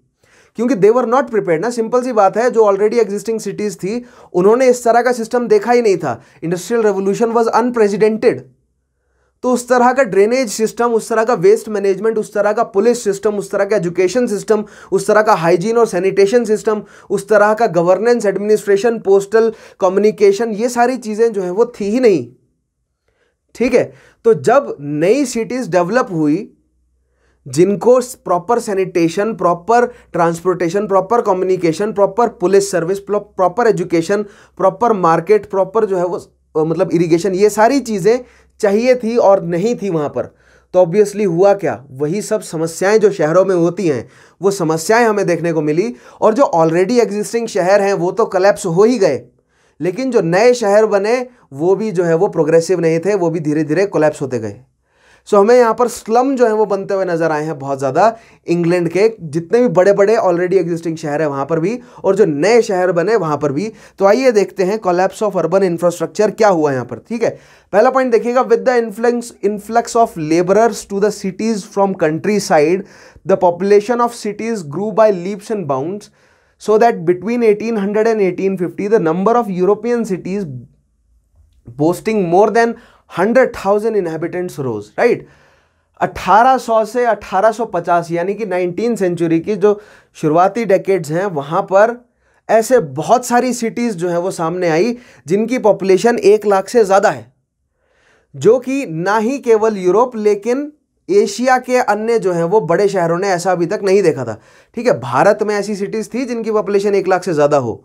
लेकिन जिस लेवल पर, क्योंकि भारत में कुछ सिटीज़ ऐसी थी, दिल्ली हो गई, बंगाल के कुछ ऐसे शहर हो गए, जिनकी पॉपुलेशन इतनी ज़्यादा थी मेडाइवल समय या अर्ली मॉडर्न पीरियड में, लेकिन इंग्लैंड में जो बहुत सारी ऐसी सिटीज़ डेवलप हुई, जिनकी पॉपुलेशन इतनी ज़्यादा है दिस वॉज़ अनप्रेजिडेंटेड तो इतने ज़्यादा पॉपुलस शहरों का एडमिनिस्ट्रेशन जो है, वो बैलेंस्ड एडमिनिस्ट्रेशन रखना बहुत मुश्किल हो गया अंग्रेज़ी गवर्नमेंट के लिए, और एक ऐसी अंग्रेज़ी सरकार जो कि मर्चेंट्स के द्वारा डोमिनेटेड है और जिसका सोल पर्पस है अभी फ़िलहाल मर्चेंट्स का फ़ायदा निकालना।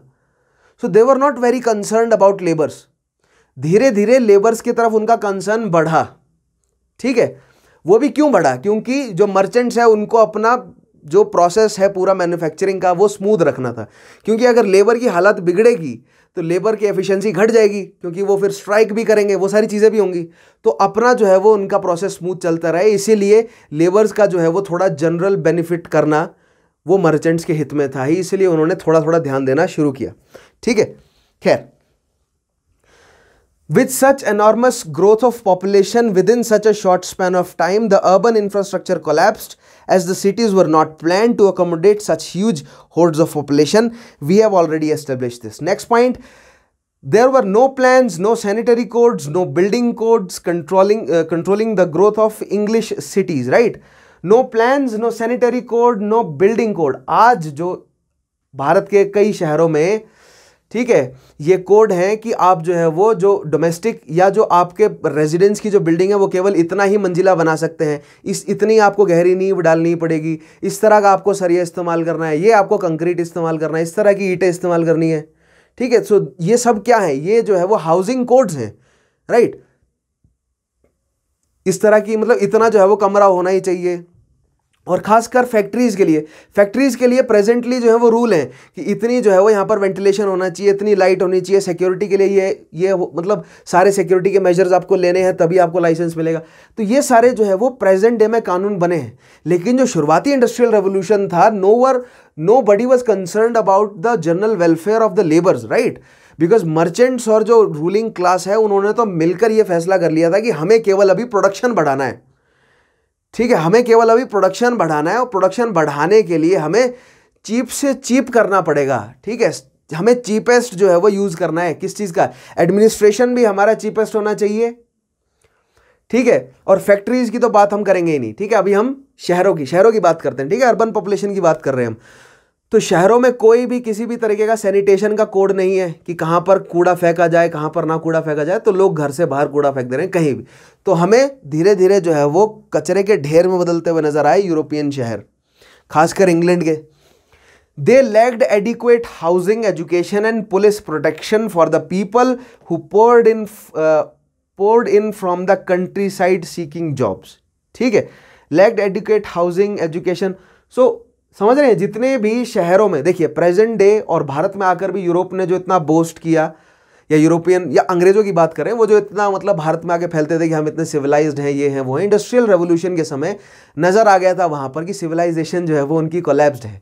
ठीक है देवर नॉट सिविल वो अपने मुनाफे के लिए सब कुछ कर रहे थे and this is not this notion कि अपने ही मुनाफे के लिए सब कुछ किया जाए this is not exclusive to England only ठीक है, यूरोप, एशिया, भारत, हर जगह जहाँ पर भी इंसान जो है वो शासन में है, शक्ति में है इंसान की नेचुरल टेंडेंसी है, अपना मुनाफा ज़्यादा से ज़्यादा हो।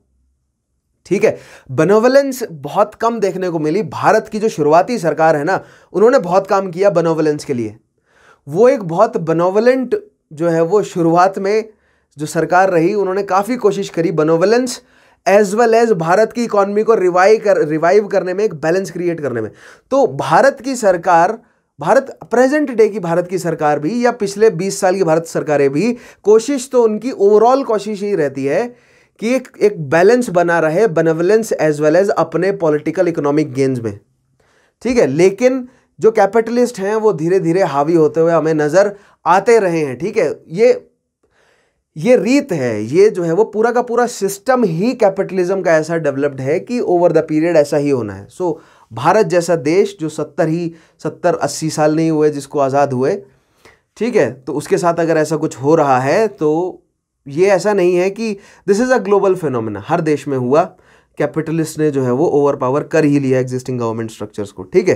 खैर, उस पर हम आगे जो है वो मैं आपको, मैं तभी जो है वो present day government economic political scenarios पे कमेंट नहीं करता हूँ।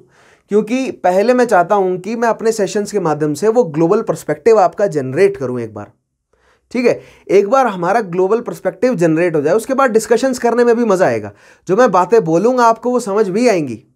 अभी मैं अगर आपको बातें बोलूँ और आपको वो समझ ना आए तो कोई फ़ायदा नहीं है। इसीलिए मैं चाहता हूँ, पहले मैं वर्ल्ड हिस्ट्री कराऊँ, उसको जब मैं कंटेम्प्ररी लेकर आऊँगा ना इक्कीसवीं शताब्दी तक मैं जब सारे सिस्टम को लेकर आऊँगा, जब सब कुछ इकट्ठा हो जाएगा, सारी चीज़ें आपको समझ आ जाएँगी। यानी कि रेनेसांस ठीक है, उसके बाद इंडस्ट्रियल रेवोल्यूशन हम समझ रहे हैं। मैं आपको कैपिटलिज्म कॉलोनाइजेशन जो हुआ है, विश्व युद्ध जो हुए हैं, उसके बाद कोल्ड वॉर हुआ है ग्लोबलाइजेशन फिर जब हम इक्कीसवीं शताब्दी में एंटर करेंगे ना, तब जब आपके पास जो कलेक्टिव इन्फॉर्मेशन इकट्ठा होगी। उसके बाद आज़ादी के बाद जो शुरुआती गवर्नमेंट्स रही, उनके क्या फैसले रहे और भारत के पॉलिटिकल सिनेरियो के बारे में, ठीक है वर्ल्ड हिस्ट्री को भी इक्कीसवीं सेंचुरी तक और भारत के जो पॉलिटिकल सिनेरियो है, उसको भी जब मैं इक्कीसवीं सेंचुरी तक लेकर आऊँगा, तब हम जब इकट्ठा करके देखेंगे इन दोनों चीज़ों को। तब जो हमारा प्रेजेंट डे के पॉलिटिकल सिनेरियो तब हम जब अखबार खोलेंगे ना, तब मैं जब आपको जो बड़े लीडिंग अखबार हैं उनकी जब हेडलाइंस जब आपको समझानी शुरू करूँगा, तब देखिएगा आपकी क्या समझ होती है। ठीक है तो वो वो पूरा प्रोसेस है, हम वहाँ तक पहुँचेंगे, आप बस जुड़े रहिए मेरे साथ। ठीक है, मैं उस तरह की समझ आपकी डेवलप करूँगा। नेक्स्ट देखिएगा, अगला आता है हमारे पास point most of the unpaved streets had no drains and collected heaps of garbage ठीक है अनपेव्ड स्ट्रीट्स देखिए, शहरों में पक्की सड़कें बनना, वो सब काम जो है, वो बहुत बाद में हुआ। ठीक है आप मुझे कमेंट के माध्यम से बताइएगा कि किस आ, किस जो है वो यूरोपियन उसका कंट्री भी बताना है किस कंट्री से बिलोंग करता है। इन्वेंटर ने सड़क बनाने का एक नया जो है वो मेथड इन्वेंट किया था। उसका नाम क्या था और वो प्रेजेंट डे तक यूज़ होता है ठीक है? उस व्यक्ति का नाम बताना है आपको। नेक्स्ट पॉइंट देखिएगा। Workers lived in dark dirty shelters whole families crowded into one bedroom which led to epidemics cholera epidemics regularly swept through the slums of Great Britain's industrial cities ठीक है? देखिए फैक्ट्रीज बनी, मजदूर आ गए बहुत सारे। मजदूरों ने फैक्ट्री के आसपास झोपड़ियाँ स्लम्स बनाकर रहना शुरू कर दिया। अब एक एक कमरे में, अब गरीब इतने हैं कि वो ज़्यादा जो है वो बड़ी हाउसिंग अफोर्ड नहीं कर सकते। तो एक एक कमरे में पूरा पूरा परिवार रह रहा है। ठीक है? अब इंग्लैंड ही नहीं, लेकिन इंग्लैंड के कई कई दूर क्षेत्र से जो है वो लोग आकर रह रहे हैं। प्रॉपर सैनिटेशन नहीं है। ठीक है प्रॉपर जो है वो ड्रेनेज नहीं है प्रॉपर वेस्ट मैनेजमेंट नहीं है प्रॉपर कोई खाने पीने की सुविधा नहीं है प्रॉपर जो है वो कोई वाटर मतलब पानी जो है वो प्रॉपर तरीके से नहीं पहुँच रहा है। सो so बेसिकली हो क्या हो, हो होगा क्या? ठीक है आसपास इंडस्ट्रीज़ है एयर पॉल्यूट होगी इंडस्ट्री से पानी पॉल्यूट होगा। अगर आप स्लम में रह रहे हैं और कोई जो है वो प्लानिंग नहीं है तो पानी आपका पॉल्यूट होगा ऑब्वियसली उस पानी को अगर आप पियेंगे तो वाटर बोर्न डिसीजेज होंगी। ठीक है waterborne disease like cholera so cholera एक ऐसी बीमारी है या डाइसेंट्री हो गई। डाइसेंट्री का आज हमारे पास ठोस इलाज है उस समय नहीं था। या और भी बहुत सारी ऐसी बीमारियाँ हैं जो, जो आ, गंदे हाइजीन की वजह से फैलती हैं। तो जो इंग्लैंड की सिटीज़ का जो स्लम है that was the very definition of गंदा हाइजीन ठीक है तो वहाँ पर बीमारियाँ फैलना नॉट जस्ट बीमारियाँ लेकिन एपिडेमिक्स फैल जाना एक बहुत आम बात थी। ठीक है सैकड़ों हज़ारों के हिसाब से लोग मर जाएँ that was a natural phenomena at that time ठीक है? तो ऐसी कंडीशन में कॉलरा जैसी बीमारियाँ लगातार जो है वो पॉपुलेशन को मारती जाया करती थी। यहीं पर एक लास्ट पॉइंट पढ़िएगा। ठीक है? लास्ट पॉइंट क्या बोलता है? In 1842 a British government study showed an average life span to be 17 years for a working class people in one large city compare with 38 eight years of नेच of nearby rural area average life span of seventeen years सत्रह साल का average life span सोच के देखिएगा, केवल 17 साल के भीतर, यानी कि बहुत सारे लोग 11-12 साल पे भी मर जाते होंगे, बहुत सारे लोग जो है वो 25-30 साल पे मर जाते होंगे, और उनका एवरेज जो है वो सत्रह पर आकर जो है वो जुड़ रहा है। दैट मीन्स दैट मीन्स आप ये मान के चलिए कि तीस से पहले पहले जितने भी बड़े लार्ज जो है वो इंग्लैंड की इंडस्ट्रियल सिटीज़ थी, वहाँ पर तीस साल के अंदर अंदर एक बहुत बड़ा हिस्सा पॉपुलेशन का मर जाता था। ठीक है? तो एक बार सोच के देखिए क्या ये पूरा का पूरा सिस्टम कैपिटलिस्ट के फ़ायदे का नहीं है? आपका मजदूर जो कि जवान है और वो जवानी में ही मर जाए, ताकि जब वो बड़ा हो उसको आपको ज़्यादा पैसे देने ही ना पड़े। उनके लिए कितना फ़ायदेमंद है। इसीलिए उन्होंने ये सिस्टम चलने दिया। जब तक चल सकता है, चलने दो। जब प्रोटेस्ट अनबेरेबल हो जाएगा, तब चेंज ले आएँगे। ठीक है? उनकी स्ट्रेटजी ये थी कि जब तक चल सकता है, चलने दो। जब सामने से लेबर्स का प्रोटेस्ट जो है, वो हमारे लिए अनबेरेबल हो जाए then we will create some change या नॉट जस्ट लेबर प्रोटेस्ट लेकिन पॉलिटिकल जो है वो प्रेशर जब मर्चेंट्स और जो एग्जिस्टिंग गवर्नमेंट स्ट्रक्चर है, उस पर जब अनबेरेबल ना हो जाए, तब जाकर वो चेंज लाएँगे। यही जो है वो कैपिटलिस्ट इकोनॉमी का सरकार पर कंट्रोल है कि उनके जो ओप्रेसिव मेजर्स हैं, वो उनको तब तक नहीं चेंज करते जब तक उनके लिए एब्सोल्यूट नेसेसरी ना हो जाए। वो भी अपने फ़ायदे के हिसाब से चेंज करते हैं उसे। और जनता को लगता है उनके लिए चेंज किया गया ठीक है? सो मल्टी फोल्ड है। आपको धीरे धीरे मैं वो सारे फोल्ड सिखाऊँगा, समझाऊँगा। उन उन सारी तहों के अंदर जो है वो हम झाँक कर देखेंगे कि कितना जो है वो ग्रीड जो है वो भरा हुआ अंदर। ठीक है? खैर।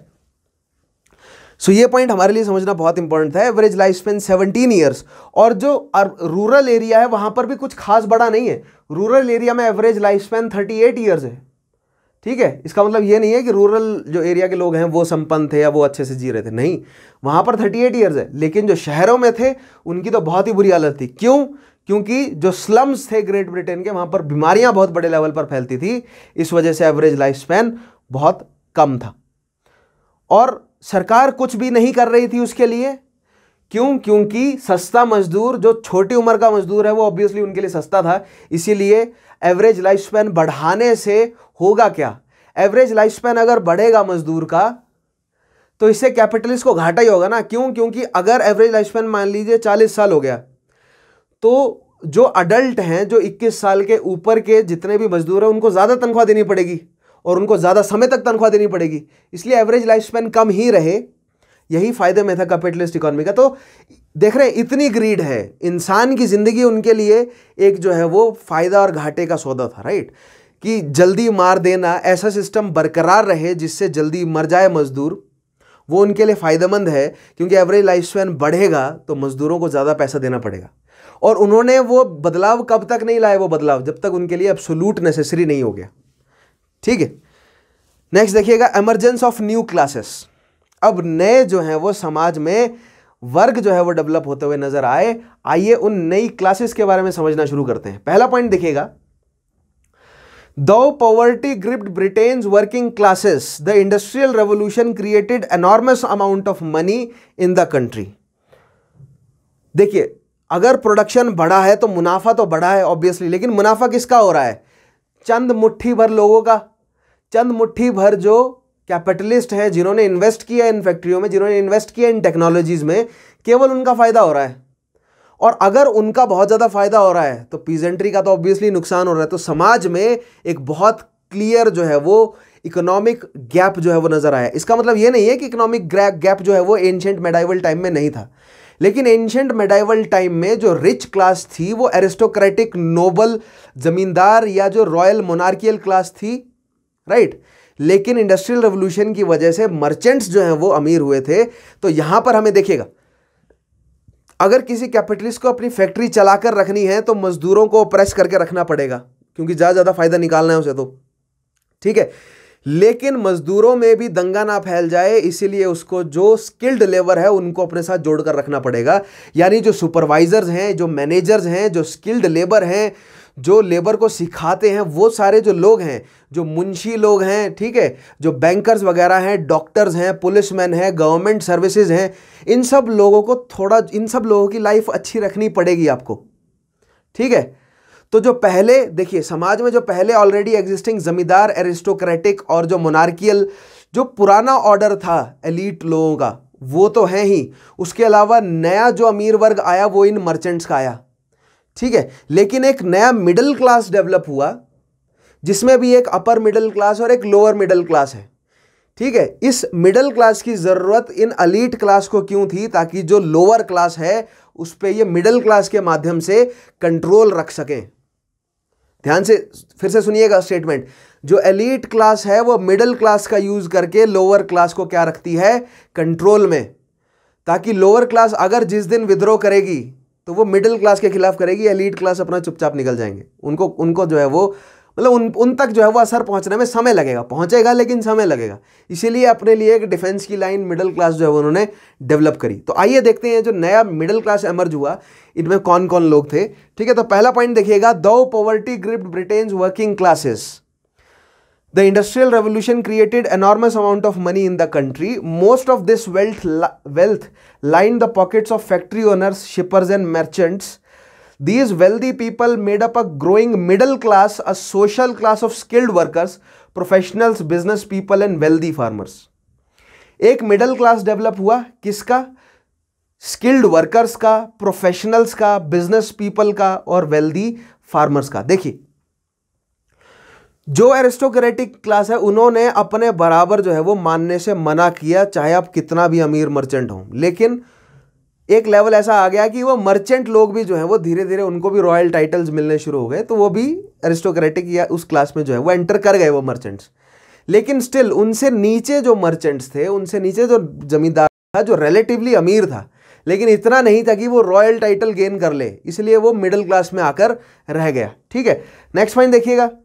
The new middle class transformed the social structure of Great Britain. In the past, landowners and aristocrats occupied the top position in Britain society. Now, some factory owners, merchants, and investment bankers grew wealthier than the landowners and aristocrats. Factory owner merchant और ख़ास तौर पर investment bankers आज भी कुछ ऐसे bank हैं कुछ ऐसे बैंकर्स हैं जो कि पूरी की पूरी नेशन की वेल्थ को कंट्रोल करते हैं ठीक है, उस समय भी नीदरलैंड्स के कुछ ऐसे बैंक्स थे जिन्होंने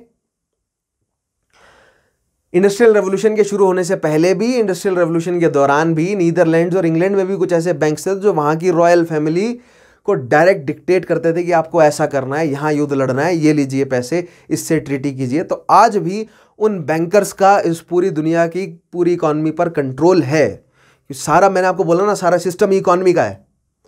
ठीक है और इकॉनमी किसके कंट्रोल में है?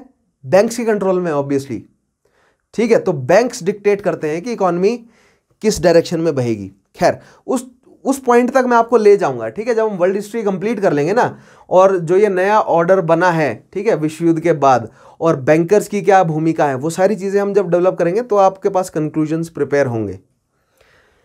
नेक्स्ट चीज़ देखिएगा। सो so, यहाँ पर हमें क्लियर हो गया फैक्ट्री ऑनर्स मर्चेंट और investment bankers grew wealthier than landowners and aristocrats. Furthermore, gradually a large number of middle class, neither rich nor poor, emerged. This group included अब देखिए मिडिल क्लास में दो है अपर मिडिल क्लास और lower middle class अब यहाँ पर आपको ये समझना है जो इन्वेस्टमेंट बैंकर है बहुत ज़्यादा वेल्दी मर्चेंट्स और जो फैक्ट्री ऑनर्स हैं वो तो एरिस्टोक्रेटिक क्लास से भी ऊपर चले गए ठीक है सो जो बहुत ज़्यादा वेल्दी बिजनेसमैन है वो एरिस्टोक्रेटिक क्लास और फिर नीचे जो है वो क्या आई हमारी एरिस्टोक्रेटिक क्लास कौन है? जो जो पुश्तैनी रॉयल फैमिलीज़ हैं, जो कई सैकड़ों सालों से इंडस्ट्रियल रेवोल्यूशन से पहले से भी जो रॉयल फैमिलीज़ चली आ रही हैं, वो है एरिस्टोक्रेटिक क्लास ठीक है? जो पुराने फ्यूडल लॉर्ड्स हैं, उनकी बात कर रहा हूँ मैं। जिनके पास ज़मीनें थी those feudal lords also converted into merchants क्योंकि उनके पास ज़मीनें थी, उस ज़मीनों के ज़ोर पे उन्होंने जो है वो मतलब मर्चेंटलिज्म में पार्टिसिपेट किया देन ग्लोबल ट्रेड में पार्टिसिपेट किया देन इंडस्ट्रियल रेवोल्यूशन में पार्टिसिपेट किया। तो इसका मतलब ये नहीं है कि अगर जो एरिस्टोक्रेटिक या जो रॉयल क्लास है they were not part of industrial revolution definitely they were also ठीक है? But there was a upper middle class of government upper middle class में देखिए कौन कौन है? Government employees doctors lawyers and managers of factories mines and shops and lower middle class consist of factory overseers such as skilled workers, as tool makers, mechanical draftsmen and painter. ठीक है? अब factory को manage करने वाले doctor lawyer policeman ये सारे जो है वो क्या है? Upper middle class lower middle class में उस फैक्ट्री में काम करने वाले स्किल्ड लेबर उस फैक्ट्री में काम करने वाले स्किल्ड आर्टिजियंस वगैरह। ठीक है? So upper middle class lower middle class aristocratic class और वेल्दी बहुत मतलब जिनके पास जो है वो बहुत ज़्यादा संपत्ति इकट्ठा हो गई। ऐसे मर्चेंट्स जो कि जो कि सरकारें कंट्रोल करने लगे ऐसे मर्चेंट्स जो कि मतलब ग्लोबल इंटरेस्ट को उन्होंने कंट्रोल करना शुरू कर दिया। वो तो मतलब सोशल ऑर्डर से ऊपर ही चले गए। ठीक है they dictate the social order now actually ठीक है वो सोशल ऑर्डर को डिक्टेट कर रहे हैं आज बैठे बैठे खैर सो so, इस तरह these people enjoyed a comfortable standard of living ठीक है? इन लोगों ने कंफर्ट एक कंफर्टेबल स्टैंडर्ड जो है वो जीने का शुरू किया। किसने? एक जो बहुत ज़्यादा अमीर मर्चेंट क्लास बनी एरिस्टोक्रेटिक क्लास है वो, जो पुराने लैंड लॉर्ड्स पुराने फ्यूडल लॉर्ड्स हैं, उसके अलावा अपर मिडिल क्लास और लोअर मिडिल क्लास ठीक है? अब लेकिन बचा कौन? अगर सभी अच्छा खेल रहे हैं, सभी अच्छा कमा रहे हैं तो किसकी पीठ पर कमा रहे हैं वो? लेबर्स की। तो आइए देखते हैं उन लेबर्स का क्या बुरा हाल था। तो नेक्स्ट हमारा पॉइंट रहेगा exploitation of the labour class ठीक है? पहला पॉइंट देखिएगा। Factory owners wanted to increase their production by operating their machines for as many hours a day as possible so factory owners को क्या करना है? प्रोडक्शन बढ़ाना है। प्रोडक्शन बढ़ाने के लिए उनको मशीनें जो हैं वो दिन में 24 घंटे चलती रहे। तब तो, तो उनके लिए फ़ायदा ही है। सो so, प्रोडक्शन बढ़ाने के लिए जितना ज़्यादा हो सके दिन में मशीनें चलें यानी कि मजदूर जितना ज़्यादा हो सके जो है वो एक लंबी शिफ्ट लगाए वो उनके लिए फ़ायदे में है। प्लस उस मजदूर को कम से कम वो पैसा देंगे और ज़्यादा से ज़्यादा उससे काम कराएँगे उससे भी उनका फ़ायदा है। As a result the average worker spend fourteen hours a day at the job six days a week चौदह घंटे की शिफ्ट जो है वो एवरेज शिफ्ट बन गई उससे लंबी भी हो सकती थी। लेकिन एवरेजली एक शिफ्ट जो है वो चौदह घंटे की रही और छः घंटे छः छः दिन जो है वो हफ़्ते में काम करना रहा। Instead of changing the season the work was the same week after week year after year workers had to keep up with machines industries also pose new dangers at work factories were seldom well lit और clean machines often injured workers the most dangerous condition of all were found in coal mines देखिए simple सी बात है।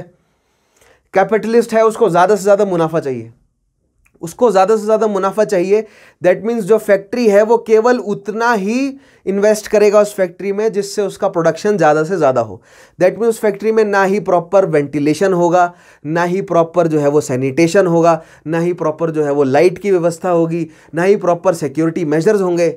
तो जो मशीनें हैं, आए दिन किसी का हाथ कट जा रहा है, किसी की टांग कट जा रही है, कोई मर जा रहा है, कोई जल जा रहा है, कोई बेहोश हो जा रहा है क्योंकि अगर फर्नेसेस हैं, वो गर्म है, उसमें लाइट नहीं है वेंटिलेशन नहीं है, लोग जो है वो मर जा रहे हैं। कोयला जो है वो उसमें जल रहा है लगातार, उस कोयले की कोयले की धूल को वो जो है वो इनहेल करते जा रहे हैं, उनको लंग प्रॉब्लम्स हो रही हैं। इसीलिए तो एक वर्कर की एवरेज लाइफ स्पेन सत्रह साल है। क्योंकि जिस स्लम में वो रह रहे हैं, उसमें तो बीमारियाँ हैं ही। लेकिन जिस फैक्ट्री में वो काम कर रहे हैं, वहाँ पर जो टॉक्सिन्स हैं, वहाँ पर जो पॉल्यूशन है both water as well as air वो उनकी हेल्थ को डिग्रेड करे जा रहा है। ठीक है? और ये सब क्यों? ताकि जो कैपिटलिस्ट हैं, उनको मैक्सिमम मुनाफा आता रहे। और अब आप पूछेंगे कि गवर्नमेंट कहाँ थी ऐसे में? तो गवर्नमेंट तो कैपिटलिस्ट द्वारा ही बैक्ड थी। तो गवर्नमेंट तो ऐसे ही कानून बना रही थी, जिससे फ़ायदा कैपिटलिस्ट या मर्चेंट्स को ही हो। ठीक है? तो इस समय कैपिटलिस्ट के पूरे कंट्रोल में है गवर्नमेंट। आज भी है, तब भी थी। लेकिन जो आज जो राइट्स दिए गए हैं, आज हम देखेंगे वो राइट्स क्यों मिले, कैसे मिले, ठीक है? कंक्लूजन क्रिएट करते हैं आज, ठीक है? नेक्स्ट पॉइंट देखिएगा फ्रीक्वेंट एक पॉइंट यहाँ पर हो रहा है the most dangerous conditions of all were found in coal mines coal mines में कोयले की खदानों में सबसे बुरी हालत थी। क्यों? क्योंकि कोयले की खदानें जो हैं वो ज़मीन के अंदर होती हैं। मैंने आपको बताया, इंग्लैंड में बहुत ज़्यादा बारिश होती है तो उसमें पानी भर जाता होगा तो आए दिन लोग डूब के मर जा रहे हैं। कोयले की खदानों में बच्चे और महिलाएँ जो हैं वो कोयले की खदानों में अंदर काम कर रही है तो उनके साथ दुष्कर्म होना बच्चों और महिलाओं के साथ एक बहुत कॉमन प्रैक्टिस थी उस समय। ठीक है? और किसी भी तरह का एडमिनिस्ट्रेशन पुलिस स्ट्रक्चर जो है वो दुरुस्त ना होने की वजह से क्राइम्स जो हैं वो अनऑब्जर्व्ड अनडॉक्यूमेंटेड चले जाते थे। सो दैट मीन्स अब गैंग्स ऑफ़ वसेपुर देखिए ना आपने, वो माहौल था। ठीक है? सो so, वैसा ही सेम सीन जो है वो कोल माइंस में था और कोल माइंस की सबसे ज़्यादा बुरी हालत थी। Frequent accidents damp conditions and the constant breathing of cold dust made the average miners life span ten years shorter than that of other workers work in the factories with long unbroken hours of the same kind of work under strict discipline and sharp forms of punishments was completely different simple सी बात है जो coal miners हैं उनकी हालत जो है वो बहुत बुरी थी। सभी की ही हालत बहुत बेकार थी। नेक्स्ट पॉइंट देखिएगा। The earning of women and children were necessary to supplement men's meagre wages as the use of machinery spread the fewer workers were needed industrialists prefer to employ women and children who would be less agitated about their poor working condition and work for work for lower wages less than man देखो simple सी बात है। जैसे जैसे मशीनें जो हैं वो मशीनों में जो है वो इनोवेशंस बढ़ता गया। अब लेबर की ज़रूरत जो है वो कम होती गई। तो कैपिटलिस्ट लोगों ने सोचा कि अगर मैं एक पुरुष को लेबर पुरुष को जो है वो अपॉइंट करता हूँ, उसको मुझे ज़्यादा तनख्वाह देनी पड़ेगी और उसको अगर मैं ऑपरेस करता हूँ तो वो विरोध भी कर रहा है। उसकी जगह अगर मैं बच्चों और महिलाओं को अगर अपॉइंट करता हूँ तो कम पैसे में वही सेम लेबर मुझे मिल रहा है प्लस वो एजिटेट भी नहीं करेंगे। सो दैट मीन्स यहाँ पर वुमेन और बच्चों का एम्प्लॉयमेंट बढ़ा, पुरुषों का एम्प्लॉयमेंट घटा, ठीक है? और उसके साथ हमें दूसरा ट्रेंड ये भी नज़र आया कि एक घर को चलाने के लिए पुरुष की आमदनी इनफ नहीं थी तो उसी घर की महिलाओं ने भी, बच्चों ने भी जो है वो क्या काम करना शुरू किया? इन फैक्ट्रियों में, इन कोल माइंस में काम करना शुरू किया। As the use of machinery spread a fewer worker were needed industrialist prefer to employ women and children who would be less agitated about their poor working condition and work for lower wages than man ये बात हमने establish कर ली। Children were often employed in textile factories because they were small enough to move between tightly packed machinery. ठीक है? ये एक जो है वो छोटा सा पॉइंट है कि बच्चों को इसलिए एम्प्लॉय भी किया जाता था क्योंकि उनके छोटे छोटे हाथ, बहुत सारे ऐसे काम थे जहाँ पर बारीक काम करना होता था। तो वहाँ पर बच्चों के जो छोटे हाथ हैं, बच्चों का छोटा स्टैचर मशीनों के बीच में से आने जाने में मदद करता था। तो बहुत सारी ऐसी मशीनें थी जहाँ पर जो है वो बच्चों को एम्प्लॉय किया जाता था। ठीक है? अब हमने देख लिया मजदूरों का बुरा हाल है। ठीक है? एक मिडिल क्लास डेवलप हो गई है। इकोनॉमिक फ़ायदा केवल middle class upper middle class और जो मर्चेंट वर्ग जो डेवलप हुआ है, उसको हुआ है। और जो लेबर्स है, वो लेबर जो है ना, बेचारी पीजेंट्री जो है, वो ओल्ड ऑर्डर में भी पिस रही थी, वो न्यू ऑर्डर में भी पिस रही है। लेकिन यहाँ पर धीरे धीरे लेबर्स को यह समझ आया। देखिए नेक्स्ट पॉइंट क्या है हमारा? इसी पर हम आगे बढ़ रहे हैं। नेक्स्ट पॉइंट देखिएगा एमरजेंस ऑफ़ ट्रेड यूनियंस ठीक है इमरजेंसी ऑफ़ ट्रेड यूनियन समझाते हैं। धीरे धीरे लेबर्स को ये समझ आया कि यार नहीं, हम सारा काम कर रहे हैं और मुनाफा ये लोग कमा रहे हैं एटलीस्ट हमारे हालातों में तो सुधार हो। हमारी एवरेज लाइफ स्पैन देख लीजिए, सत्रह साल है, बीस साल होगी, कोई पच्चीस साल जी रहा है, मर जा रहे हैं ज़्यादा से ज़्यादा। और आप मरने दे रहे हैं क्योंकि आपके लिए जो जवान मजदूर है, वो सस्ता मजदूर है। इसीलिए आप कुछ कर नहीं रहे। तो ये सारी चीज़ें जो जो स्किल्ड लेबर है, उसको ये बात समझ आई। प्लस धीरे धीरे जो एजुकेटेड वर्ग, क्योंकि एजुकेशन भी एजुकेशन का भी जो डेवलपमेंट हुआ है तो जो एजुकेटेड वर्ग तैयार हो रहा है सोसाइटी का, उन्होंने मजदूरों के खिलाफ आवाज़ उठानी शुरू करी। और जो स्किल्ड लेबर है, वो हो सकता है एजुकेटेड भी हो तो उन्होंने अपनी जो है वो पोजीशन को समझना शुरू किया कि हम स्किल्ड लेबर हैं वी आर इरिप्लेसेबल या हमें रिप्लेस करना मैनेजमेंट के लिए मुश्किल है। तो अगर हम स्ट्राइक करते हैं या काम करने से मना करते हैं तो इकोनॉमिक प्रेशर जो है वो मैनेजमेंट पर कैपिटलिस्ट पर बढ़ेगा। तो इस इकोनॉमिक प्रेशर का फ़ायदा उठाकर हम मजदूर भाइयों के लिए ज़्यादा से ज़्यादा लिबर्टी ज़्यादा से ज़्यादा जो है वो उनके हक में लॉज जो है वो डेवलप करने की कोशिश करते हैं। ठीक है? इसी भावना के साथ शुरुआती ट्रेड यूनियंस जो हैं वो डेवलप होनी शुरू हुई और उसके काउंटर में सरकारों ने क्या कानून बनाए, फिर उनके समर्थन में क्या कानून बनाए, ये हम धीरे धीरे देखते हैं। क्योंकि ब्रिटेन की गवर्नमेंट ने शुरू में देखते हैं, आइए इन पॉइंट्स के माध्यम से समझते हैं। मैं स्पॉइल नहीं करना चाहता, इन पॉइंट्स के माध्यम से पूरी चीज़ आप समझ लीजिए, ठीक है? पहला पॉइंट देखिएगा। Deeply frustrated by inhumane conditions of work by the eighteen hundreds working people became more active in politics ठीक है, ये हम समझ गए। To press reforms workers join together in voluntary association called unions workers जो हैं वो रिफॉर्म्स कराने के लिए उन्होंने यूनियन बना ली। ये भी हम समझ गए। Unions engage in collective bargaining negotiations between workers and their employers ये भी हमें समझ गया। Next cheese they bargain for better working conditions and higher pay किस चीज़ के लिए बार्गेन बार्गेन किया उन्होंने? कि वर्किंग कंडीशंस बेटर हो और तनख्वाह मिले ज़्यादा। सिंपल सी बात। यही तो उनकी समस्याएँ हैं। In factory if factory owners refuse they dem- uh, their, these demands union members could strike or refuse to work skilled workers led the way in forming unions because their special skills gave them extra bargaining power management would have trouble replacing such skilled workers as carpenters, painters, and spinners. Thus, the earliest unions helped the lower middle class more than they helped the poorest workers. ठीक है यहां पर ये सारी चीज़ें, ये सारी चीज़ें मैंने आपको समझा दी है, लेकिन ये जो आखिरी स्टेटमेंट है ना, कि earliest unions help the lower middle class more than they help the poorest workers क्यों? क्योंकि ये जो यूनियंस थी ना, जो शुरुआती यूनियंस थी, ये these unions were led by whom led by these skilled workers और ये जो स्किल्ड वर्कर है, ये सोसाइटी का लोअर मिडिल क्लास है। तो जो स्किल्ड वर्कर है, वो अगर नाराज़ हो गया तो जो मैनेजमेंट है, जो फैक्ट्री का मैनेजमेंट है, उसके लिए प्रॉब्लम है। तो स्किल्ड वर्कर को अपने साथ जोड़कर रखना बहुत ज़रूरी है। तो स्किल्ड वर्कर को खुश करने के लिए स्किल्ड वर्कर्स को जो है, वो राइट्स और जो भी मतलब उनकी जो डिमांड्स है, उनको मान लिया गया स्किल्ड वर्कर्स की। तो जो शुरुआती यूनियंस है, इससे, क्योंकि देखिए, जो शुरुआती यूनियंस है ना, उसमें स्किल्ड वर्कर्स ने जो है, वो लीड किया। सभी सभी जो है, वो लेबर को लीड किया। लेकिन स्किल्ड वर्कर्स को अपने साथ जोड़ना बहुत आसान था किसके लिए? जो भी कैपिटलिस्ट uh, है जो भी मर्चेंट है जो भी फैक्ट्री मैनेजमेंट है राइट क्यों? क्योंकि एजिटेशन की भावना अभी तक धीरे धीरे डेवलप नहीं हुई थी। वो एजिटेशन की भावना धीरे धीरे डेवलप हुई। दैट मीन्स जो यूनियन जो सही तरीके से काम करे यानी कि एक ऐसी यूनियन जिसके लीडर बिकाऊ ना हो उस लेवल तक यूनियन के मोरल्स या एथिक्स पहुँचने में अभी समय था। शुरुआती जो यूनियंस थी, उनके जो लीडर्स थे, वो बहुत आसानी से आ जाते थे किसके कंट्रोल में? मैनेजमेंट के कंट्रोल में। ठीक है? इसीलिए हमारा लास्ट पॉइंट लास्ट दो पॉइंट है, देखिए क्या है।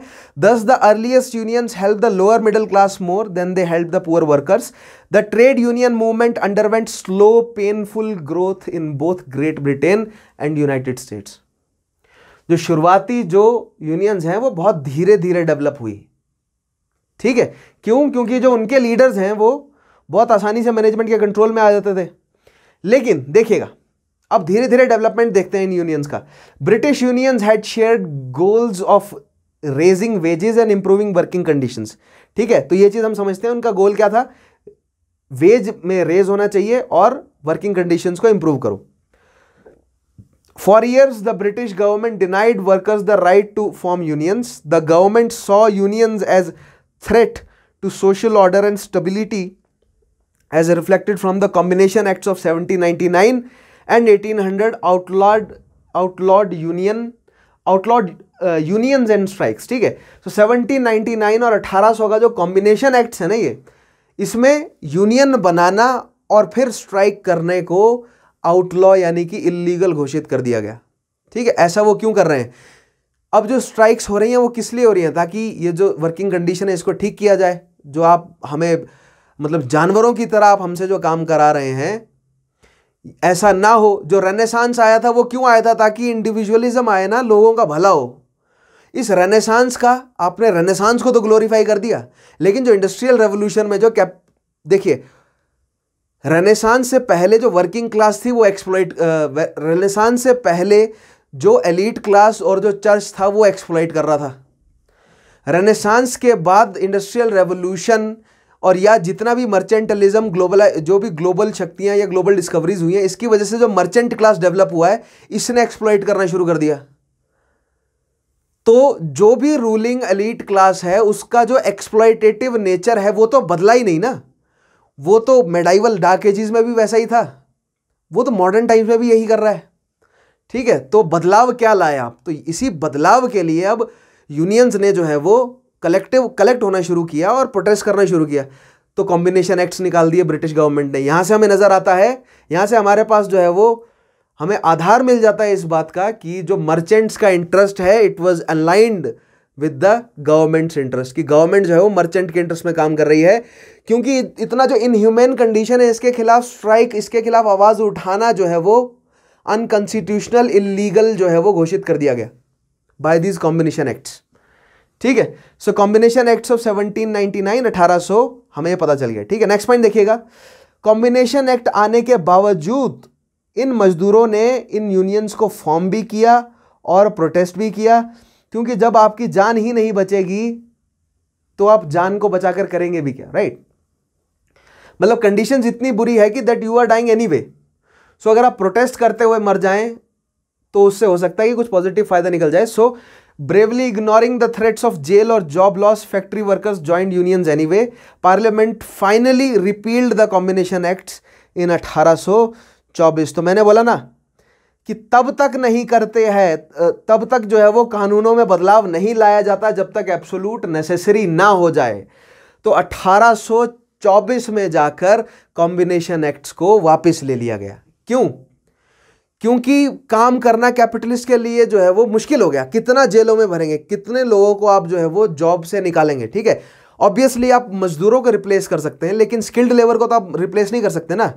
सो so, जो धीरे धीरे स्किल्ड लेबर जिसको आप पहले खरीद लिया करते थे वो अब यूनियन के लीडर्स के फॉर्म में एक उनके उनका जो है वो एथिक्स जो डेवलप हुआ है उनकी जो मोरालिटी डेवलप हुई है और उन्होंने अपने जॉब के मतलब छिन जाने का जो है वो उन्होंने रिस्क उठाया तो जब जब कोई व्यक्ति इस तरह एक्ट करना शुरू कर देता है that that person has nothing to lose तो आप उसके उस व्यक्ति के साथ रीज़न नहीं कर सकते।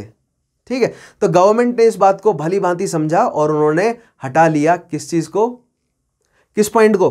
आ, किस एक्ट को? कॉम्बिनेशन एक्ट को। ठीक है? कब? 1824 में। तो ये चीज़ मैंने आपको समझाई है कि सरकार कोई काम तब तक नहीं करती। खास तौर पे खास तौर पे ये जो अर्ली मॉडर्न जो गवर्नमेंट स्ट्रक्चर था या जो शुरुआत इंडस्ट्रियल रेवोल्यूशन के बाद में जो गवर्नमेंट स्ट्रक्चर जो डेवलप हुआ है, ये लोग जो है वो मर्चेंट्स के इंटरेस्ट के साथ अलाइंड थे। ठीक है, हम धीरे धीरे मैं आपको डेवलप करवाऊँगा कि कैसे जो है वो बनोवलेंट गवर्नमेंट स्ट्रक्चर भी डेवलप हुए हैं, ऐसी बात नहीं है। नेक्स्ट पॉइंट देखिएगा। After 1825 the British government was compelled to accommodate unions 1825 के बाद ब्रिटिश गवर्नमेंट जो है वो उनको नेसेसिटी हो गई कि यूनियंस को अकोमोडेट करे। अब यूनियंस बनाना जो है वो क्या हो गया? जायज़ हो गया, ठीक है? लीगल हो गया। By 1875 British trade unions had won the right to strike and picket peacefully 1875 तक इन ब्रिटिश यूनियंस के पास राइट आ गया किस चीज़ का? स्ट्राइक करने का। तो देख रहे हैं आप ये यूनियंस जो हैं वो 1800 यानी कि 19 सेंचुरी की शुरुआत में या 18 सेंचुरी के एंड में डेवलप होनी शुरू हुई। ठीक है? इन यूनियंस को स्ट्राइक करने का राइट जाकर मिला 1875 में। तो इससे हमें क्या नज़र आता है? इन ट्रेड यूनियंस की persistence and that is a great that is one of the greatest virtues of an administrator कि कोई भी बड़ा बदलाव जो है वो आपके, हो सकता है कि आपके टेन्योर में ना आए। ठीक है? क्योंकि जितने भी ट्रेड यूनियन के लीडर्स रहे होंगे, वो रिप्लेस होते रहे होंगे। So over the period of hundred years अगर ये इतना बड़ा over the period of hundred years जाकर उन्होंने स्ट्राइक का राइट मिला है, अभी भी चेंज नहीं आया स्ट्राइक करने का राइट मिला है उन्हें। ठीक है? तो कितने सारे लीडर्स जो है वो यहाँ पर बदले होंगे। तो ये चीज़ें आपके अंदर, आपको अपने अंदर डेवलप करनी है कि जो, अगर कोई भी आपका जो है वो बड़ा मोटिव है उसको अपनी ईगो पर ना ले जाकर आपको परसिस्टेंसी से आगे बढ़ाते रहना चाहिए। भले ही आपको अपने, अपनी जो भी डेवलपमेंट्स है वो किसी और को हैंड ओवर करनी पड़े। This was the vision of British Empire right British Empire की जो पूरा डिज़ाइन है ना, वो इसी चीज़ पर बेस्ड था कि उनको भारत को कॉलोनाइज करना है पॉलिटिकली इकोनॉमिकली सोशली हर तरीके से। और वो एक व्यक्ति नहीं करेगा। ये ये जो है वो उनके पूरे नेशन का एजेंडा है। तो जो भी वो काम कर रहा है जब उसका टेन्योर ख़त्म हो गया तो वो अपनी जिम्मेदारियों को अगले को दे देगा। राइट right, तो ये छोटी एक बहुत बारीक सी चीज़ है समझने की कोशिश कीजिएगा। आई होप आपको समझ आई होगी। इस फंडे पर आगे कभी मैं एक अलग से सेशन लूँगा। ठीक है जब मैं आपको फ्यूडलिज्म समझाऊँगा ना तब मैं ये चीज़ें क्लियर करूँगा कि भारत और ब्रिटेन में जो दूरदृष्टि है या भारत के जो शासक रहे भारत की जो अरिस्टोक्रेसी रही ब्रिटेन की जो अरिस्टोक्रेसी रही भारत के जो मर्चेंट्स हैं ब्रिटेन के जो मर्चेंट्स रहे उनमें दूरदृष्टि की क्या जो है वो डिफरेंसेस हैं। तो ये सारी चीज़ें जब मैं इंडियन फेडरलिज्म आपको एक्सप्लेन करूँगा, वहाँ पर हम समझेंगे। खैर नेक्स्ट देखिएगा, अगला point 1875 British trade unions had won the right to strike and picket peacefully. They had also built up a membership of one million people दस लाख लोग जो हैं वो इन यूनियंस में जुड़ गए। तो मैंने बोला ना कि आप स्किल्ड लेबर को रिप्लेस नहीं कर सकते। आप लेबर को रिप्लेस कर सकते हैं। लेकिन अगर सभी लेबर जुड़ जाएँगे तो आप नया लेबर कहाँ से लेकर आइएगा? ठीक है? आप अपनी कॉलोनीज से लेबर को इंपोर्ट कर सकते हैं डेफिनेटली लेकिन फिर उनको स्किल मतलब कैपिटल है इन्वेस्टमेंट है वो। Right right? और जो कैपिटलिस्ट का एजेंडा क्या है? कम से कम इन्वेस्टमेंट ज़्यादा से ज़्यादा फ़ायदा। तो नया इन्वेस्टमेंट करने से अच्छा है, उन्होंने जो ऑलरेडी अवेलेबल नया इन्वेस्टमेंट करने में ज़्यादा खर्चा था, नया कैपिटल इन्वेस्ट करने में ज़्यादा खर्चा था, जो ऑलरेडी स्किल्ड लेबर है उनकी हालातें सुधारना जो है वो सस्ता पड़ता, इसीलिए उनकी हालातों में रिफॉर्म करना कैपिटलिस्ट ने सही समझा। अगर उनके पास और कोई सस्ता अल्टरनेटिव होता तो वो डेफिनेटली उसको अपनाते। ठीक है? देखिएगा in the United States skilled worker had belong to union since eighteen hundreds in 1886 several 1886 several unions join together ये बहुत इंपॉर्टेंट पॉइंट है। In 1886 several unions join together to form the labour organization that would become the American Federation of Labour ए बहुत important point है। 1886 American Federation of Labour Next point, a series of successful strike won AFL members higher wages and shorter hours. Subsequently, several reform bills were introduced in the parliament to improve the conditions of the worker. अब देखिएगा जो American Federation of labour है ये तो बनी United states में लेकिन इसी तरह की बहुत सारी पावरफुल ट्रेड यूनियंस जो हैं वो ब्रिटेन में भी डेवलप हुई और उन्होंने ब्रिटेन के पार्लियामेंट को विवश किया कि ऐसे कानून आप बनाएँ जिससे हमारे हालातों में सुधार आए। ठीक है? और देखिएगा जो क्या मैंने आपको बोला ना कि कैपिटलिस्ट जो कैपिटलिस्ट है उन्हीं के कंट्रोल में ब्रिटिश पार्लियामेंट है। या था। था करते हैं बात है कि बात अब धीरे धीरे आगे आके डेवलप करेंगे वो चीज़ें हम ठीक है? लेकिन उस समय कैपिटलिस्ट के कंट्रोल में ब्रिटिश पार्लियामेंट है। सो so, कैपिटलिस्ट क्या चाहते हैं? कम से कम लागत में ज़्यादा से ज़्यादा मुनाफा ठीक है? लेकिन उनके जो उनके जो वर्कर्स हैं, उनके जो स्किल्ड वर्कर्स हैं, वो स्ट्राइक कर रहे हैं। उन सभी को रिप्लेस करने में और ज़्यादा कैपिटल लगाना पड़ेगा। इसके बजाय ऐसे कानून बना दो कि उनकी मांगे जो हैं, वो कुछ हद तक मान ली जाएँ, ताकि काम वापस जो है, वो शुरू हो जाए। ये कैपिटलिस्ट के लिए सस्ता पड़ा। इसलिए ब्रिटिश जो पार्लियामेंट है, उसने ऐसे कानून पास करे। ठीक है? ऐसे कानून, ऐसे रिफॉर्म्स लेकर आए गए, जिससे मजदूरों के हालातों में कुछ सुधार आया। तो देखिएगा क्या है यहाँ पे। In both Great Britain and United States इन दोनों राष्ट्रों की बात क्यों की जा रही है? क्योंकि ग्रेट ब्रिटेन का ही, की ही उपज है यूनाइटेड स्टेट्स आगे मैं आपको बताऊँगा अमेरिकन रेवोल्यूशन जब करवाऊँगा, वहाँ पर समझाऊँगा आपको मैं। ठीक है new laws reformed some of the worst abuses of industrialisation ठीक है न्यू लॉज जो आए, उसमें जो सबसे बुरी हालत थी ना, उसको सुधारने में काम किया गया। In 1832 for example the English parliament set up a committee to investigate child labour 1832 में इंग्लिश पार्लियामेंट ने चाइल्ड लेबर को इन्वेस्टिगेट करने के लिए कमिटी बिठाई। बहुत इंपॉर्टेंट पॉइंट है। As a result of this committee's findings parliament pass the factory act of 1833 बहुत इंपॉर्टेंट पॉइंट ब्रिटेन में फैक्ट्री एक्ट ऑफ़ 1833 पास हुआ है 1832 की चाइल्ड लेबर के ऊपर जो इन्वेस्टिगेशन करने के लिए कमेटी बनी है उसकी रिपोर्ट पर। इसने इस एक्ट में देखिए क्या क्या प्रोविजंस थे। The new law made it illegal to hire children under nine years old नौ साल की उम्र के नीचे के बच्चे को आप हायर नहीं कर सकते। Children from ages of nine to twelve could not work more than eight hours young people from thirteen to seventeen could not work more than twelve hours ठीक है? देखिए 1833 के एक्ट ने क्या बोला? नौ से, नौ साल के कम बच्चे कम उम्र के बच्चे को तो आप जो है वो काम पर रख ही नहीं सकते।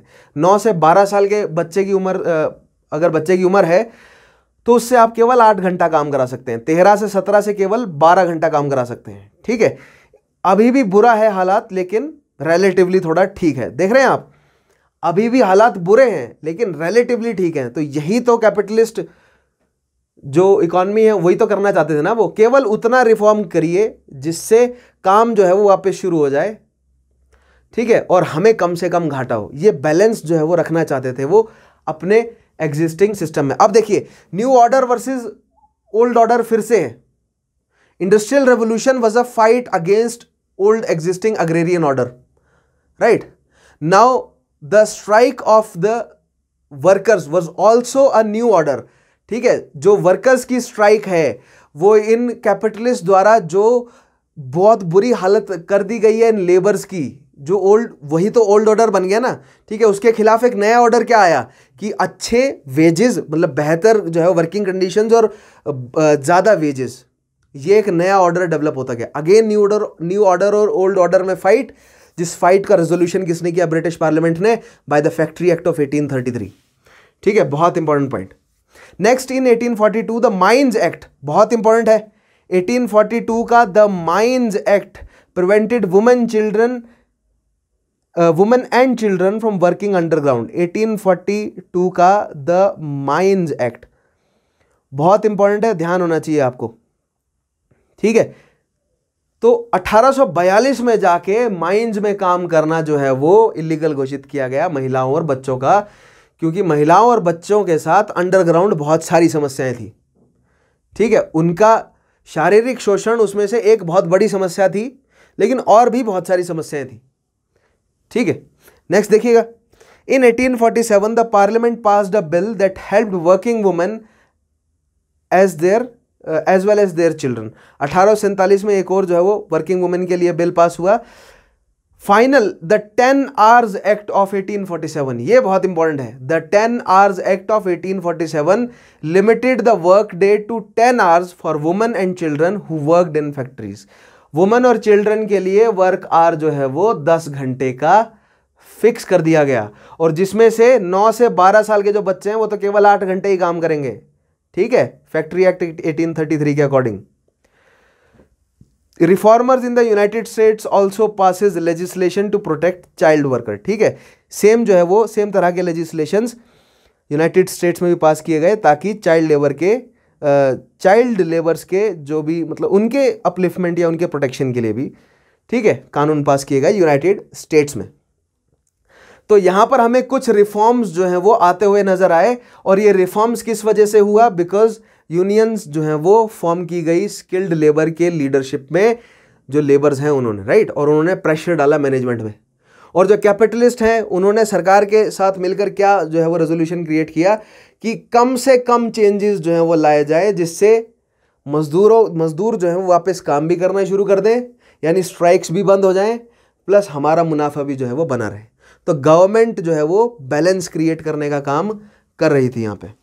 तो बहुत इंपॉर्टेंट है आपको इस परस्पेक्टिव से भी देखना बहुत ज़रूरी है। केवल आप किताबों में ये लिखा हुआ जो अंग्रेज़ी अंग्रेज़ी इतिहासकारों ने जो इतिहास डॉक्यूमेंट किया ना ग्लोरीफाई करते हुए, कि ब्रिटिश सरकार ने इतना जो है वो, देखिए यहाँ पर टेन आर एक्ट ले आए, उन्होंने ऐसे जो है वो मतलब पब्लिसाइज किया है अपने इन नए एक्ट्स को, जैसे इन्होंने बहुत बढ़िया काम कर दिया। ठीक है, लेकिन जो पीछे की छुपी हुई बारीकी है, वो हमें समझनी है, ठीक है? हमें प्रोपेगेंडा के चपेट में नहीं आना है। मैंने आपको बोला ना, तटस्थ रहना तटस्थ न्यूट्रल रहने का एक पॉइंट ये भी है कि आपको प्रोपेगेंडा के चपेट में भी नहीं आना है। बहुत इंपॉर्टेंट है, न्यूट्रल रहने का ये मतलब है। एक ये भी मतलब है कि आपको प्रोपेगेंडा से भी बचते रहना है। और प्रोपेगेंडा ऐसा नहीं है कि भारत में ही है, प्रोपेगेंडा हर जगह है। यूरोप में भी है, अमेरिका में भी है, रशिया में भी है, हर जगह है प्रोपेगेंडा। ठीक है तो सरकारी प्रोपेगेंडा से बचते हुए चलना है हमें। हमें सरकारी जो प्रोपेगेंडा और जो पॉलिटिक्स जो है वो इससे हमें, इसे हमें समझना है। लेकिन इसमें इंडल्ज नहीं होना। हमें इसमें से काम की चीज़ें निकालनी है जो हमारे आंसर राइटिंग में मदद करे। ठीक है? तो जो मैं आपको प्रोपेगेंडा समझा रहा हूँ, हो सकता है कि आंसर राइटिंग में आपको डायरेक्टली लिखना फ़ायदेमंद कम रहे या ना रहे, लेकिन इसकी समझ आपको होना बहुत ज़रूरी है। ठीक है? आपकी राइटिंग जो है वो न्यूट्रल होनी चाहिए। ना ही आपको प्रोपगेंडा को ग्लोरीफाई करना है और ना ही उसको बहुत ज़्यादा क्रिटिसाइज करना है। जहाँ पर सवाल में दिया ही हो कि आपको क्रिटिकली एनालाइज करना है, वहाँ पर तो डेफिनेटली करना ही है। ठीक है? लेकिन इसका मतलब ये नहीं है कि आपकी राइटिंग में नज़र आ रहा है कि आप बहुत ज़्यादा जो है वो किसी एक किसी एक पर्टिकुलर गवर्नमेंट या किसी एक पर्टिकुलर गवर्नमेंटल स्ट्रक्चर को क्रिटिसाइज करते हुए नज़र आ रहे हैं। नहीं न्यूट्रल रहना है, तटस्थ रहना है। ठीक है? सभी, तभी मैं आपको सारे के सारे एस्पेक्ट्स समझाने की कोशिश कर रहा हूँ। तभी मैं आपको कैपिटलिस्ट जो हैं, उनकी मजबूरियाँ भी तो समझा रहा हूँ ना? ठीक है गवर्नमेंट जो एरिस्टोक्रेटिक क्लास थी, उनकी मजदूरियाँ, उनकी जो समस्याएँ हैं, उनकी जो सिचुएशन है, वो भी मैंने आपको समझाई कि उनको अपना रॉयल टाइटल अपने जो पुराने चले आ रहा जो रॉयल मतलब रॉयल्टी है, वो बचा कर रखनी है। इसीलिए उन्होंने मर्चेंट से हाथ मिला लिया, हाथ जोड़ लिया। खैर, वो ग्लोरियस रेवोल्यूशन जब करवाऊँगा, वहाँ पर डिटेल में समझाऊँगा आपको। या जो या जो रेवोल्यूशन हम धीरे धीरे डेवलप करेंगे, या बहुत सारे टॉपिक आगे आएँगे, सारी छोटी छोटी चीज़ें हैं क्लियर हो जाएँगी। ठीक है? खैर अगले पॉइंट पर बढ़ते हैं। नेक्स्ट आएगा हमारे सामने अबॉलिशन ऑफ़ स्लेवरी। अब स्लेवरी को कैसे हटाया गया, आइए देखते हैं। ठीक है? देखिए, स्लेवरी भी एक बहुत बड़ी समस्या थी। किसी भी तरह का कोई रोक टोक नहीं है ना। जो मर्चेंट्स हैं, उनको तो ज़्यादा से ज़्यादा फ़ायदा निकाल रहा है। तो अगर कोई आप मजदूर जो है वो अपॉइंट कर रहे हो, कोई लेबर अपॉइंट कर रहे हो, उसको तो आप तनख्वाह देनी पड़ेगी। लेकिन अगर आप किसी स्लेव को एक बार खरीद लाए तो उसको तो तनख्वाह दो, ना दो, उसको जैसे मर्ज़ी रखो, वो आपका स्लेव है। तो पहले ऐसे भावना थी मेडाइवल टाइम्स में कि जो मालिक है, वो स्लेव को जैसे मर्ज़ी चाहे वैसे ट्रीट करे। अगर आपने किसी को खरीद लिया है, अगर आपका वो स्लेव है तो अगर आप उसे मार भी देते हैं तो आपके ऊपर कोई जो है वो पनिशमेंट नहीं है, क्योंकि आपका स्लेव आपकी पोजेशन है और आपकी मर्ज़ी है, वो आपको, आप उसे कैसे मर्ज़ी ट्रीट करें। ठीक है? तो स्लेवरी एक बहुत बड़ी समस्या थी मेडाइवल टाइम्स में, भारत में भी एशिया के अन्य भागों में भी यूरोप में भी अमेरिका में भी और अफ्रीका में भी, ठीक है? सो स्लेव ट्रेडिंग कहाँ से शुरू हुई? देखिए, मैंने आपको बोला ना scientific innovations geographical discoveries geographical discoveries उन्हें अफ्रीका मिल गया। अफ्रीका में उन्होंने देखा कि यहाँ के ट्राइब्स हैं सात सात फुट के लंबे चौड़े हट्टे कट्टे मज़बूत आदमी हैं, जिनसे मजदूरी करवाई जा सकती है, भर के और ट्राइबल हैं वो। यानी कि उनको बहुत उनके ट्राइबल लीडर्स को ब्राइब करके, उनके ट्राइबल लीडर्स को ब्राइब करके उनसे जो है वो उनके मजदूर मतलब उनकी जनता को जो है खरीदा जा सकता है। तो जितने भी अफ्रीकन लोग हैं, उनका, उनकी स्लेवरी हुई बहुत बड़े लेवल पर। उनको खरीद लिया गया यूरोपियन मर्चेंट्स द्वारा और उनको यूरोप में भी लाया गया और अमेरिका में भी भेजा गया, भारत भी भेजा गया। जहाँ जहाँ पर उनकी कॉलोनीज थी। ब्रिटिशर्स की भी, फ्रेंच की भी, स्पेनिश की भी, जर्मन्स की, स्वीडिश की, सब की, ठीक है? तो इन स्लेव्स की क्या हुई? ट्रेडिंग। अब इन स्लेव्स के ऊपर जो है, स्लेव्स के ज़ोर पे प्लांटेशंस माइंस में काम कराया गया, मरते दम तक काम कराया गया इन्हें। तो एक मजदूर को आपको जो है, वो तनख्वाह देनी पड़ेगी। एक स्लेव अगर मर भी जाए तो कोई फ़र्क नहीं पड़ेगा, ठीक है? मर्चेंट को। ये जो है, वो पुराना सिस्टम ऑलरेडी एस्टेब्लिश था। तो आइए देखते हैं स्लेवरी की अबॉलिशन कैसे हुई। सो पहला पॉइंट देखिएगा among the curses of industrial revolution slavery was the most inhumane and agonizing William Wilberforce Wilberforce a highly religious man who was a member of British Parliament, passed a bill to end the slave trade in British West Indies in 1807 बहुत important है William Wilbur force ने एक ऐसा bill pass करवाने की कोशिश करी British parliament से, जिससे वेस्ट इंडीज में, यानी जो अमेरिका, अमेरिकाज है ना, North America, South America, Central America, इसको वेस्ट इंडीज कहा गया। यहाँ पर स्लेवरी के अवॉल्यूशन के लिए 1807 में एक बिल पेश किया गया। तो ये वेस्ट इंडिया, अब कभी आपने सोचा है कि ईस्ट इंडिया कंपनी को ईस्ट इंडिया कंपनी क्यों कहा जाता है? यानी अगर कोई ईस्ट इंडिया है दैट मीन्स कोई वेस्ट इंडिया भी है। तो इसके पीछे एक रोचक कहानी है। शुरुआती जो यूरोपियन एक्सप्लोरर्स है ना, वो भारत के लिए रास्ता ढूंढ रहे थे। ठीक है? तो वो भारत के लिए रास्ता ढूंढ रहे थे, लेकिन भारत के लिए रास्ता ढूंढते ढूंढते क्रिस्टोफर कोलंबस जैसे और भी बहुत सारे एक्सप्लोरिस्ट, एक्सप्लोरर्स हैं, जो एटलांटिक ओशियन में रास्ता भटक गए और वो पहुँच गए जाकर, उनको मिल गया जाकर नॉर्थ अमेरिका और साउथ अमेरिका भी। ठीक है? तो जब वो नॉर्थ अमेरिका पहुँचे तो उन्होंने नॉर्थ अमेरिका को ही इंडिया मान लिया। और कुछ समय तक वो इंडिया कहकर वहाँ पर रहने लगे। उसको इंडिया कह के। ठीक है? कुछ समय बाद उन्हें समझ आया कि इंडिया ये तो है नहीं। जैसा हमने इंडिया का कल्चर सुना है, वैसा तो इंडिया है नहीं। क्यों? क्योंकि वास्को डगामा को एक्चुअल इंडिया मिल गया 1498 में जाकर। ठीक है? तो जिस जिस लैंड को वो इंडिया कह रहे थे, उसको इंडिया ही कहते रहे वो, लेकिन उसको कहा उन्होंने वेस्ट इंडिया ठीक है? और जो वास्को डगामा ने जो एक्चुअल इंडिया ढूंढा था, उसको कहा उन्होंने ईस्ट इंडिया क्योंकि इंडिया उनके लिए फिगरेटिव एक मतलब था इंडिया का। इंडिया का मतलब था एक ऐसा लैंड जहाँ से उनको बहुत सारे रिसोर्सेज मिलने सॉरी जहाँ से उनको बहुत सारे रिसोर्सेज मिलने वाले हैं। इंडिया एक ऐसा लैंड है। सो so, अमेरिका भी एक ऐसा ही लैंड उनके लिए प्रूव हुआ जहाँ से उनको बहुत सारे रिसोर्सेज मिलने वाले हैं। इसलिए उन्होंने अमेरिकाज को भी इंडिया संज्ञा दी लेकिन that was the West Indies and जो इंडियन सब कॉन्टिनेंट था that was that was came to be known as East Indies ठीक है? तो ये चीज़ आई होप आपको समझ आई होगी। और जो नेटिव अमेरिकन हैं, उनको उन्होंने, उनकी चमड़ी का रंग थोड़ा भूरा और क्योंकि धूप की वजह से स्किन जो है वो टैन हो जाती है तो भूरा भूरा लाल सा रंग है तो उनको उन्होंने कहा red Indians so native American को जो है वो रेड इंडियंस कहा गया though they were not Indians right obviously they were not Indians but they were they came to be known as Indians because जो शुरुआती एक्सप्लोरर्स है they wanted to find India but in fact they found another land right America मिल गया लेकिन America is also rich in resources इसीलिए उन्होंने भी and India India का मतलब क्या था यूरोपियंस के लिए? एक ऐसी जगह जहाँ पर रिसोर्सेज बहुत हैं। ठीक है? खैर नेक्स्ट पॉइंट देखिएगा।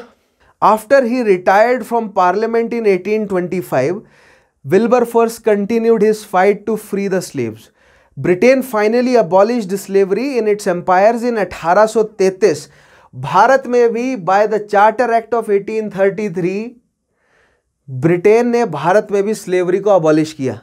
सिमिलरली चार्टर एक्ट कहाँ से निकला है? ब्रिटेन का पार्लियामेंट से ना? तो वो that was not confined only for India उन्होंने जो चार्टर निकाला है वो ब्रिटेन की हर एक कॉलोनी के लिए था। तो 1833 में ब्रिटेन की जितनी भी कॉलोनीज हैं, वहाँ से स्लेवरी को अबॉलिश किया गया। अब ये स्लेवरी को अबॉलिश करना कैपिटलिस्ट के हितों में भी था। मैंने बोला ना, ऐसी सारी चीज़ें जो कैपिटलिस्ट के लिए समस्या बनी जा रही हैं, उन्होंने उस समस्याओं को रिजॉल्व किया। दोनों डायरेक्शन से सोचना है ना हमें। ठीक है? जो वर्कर्स हैं, जो ओप्रेस्ड हैं और जो ओप्रेसर हैं।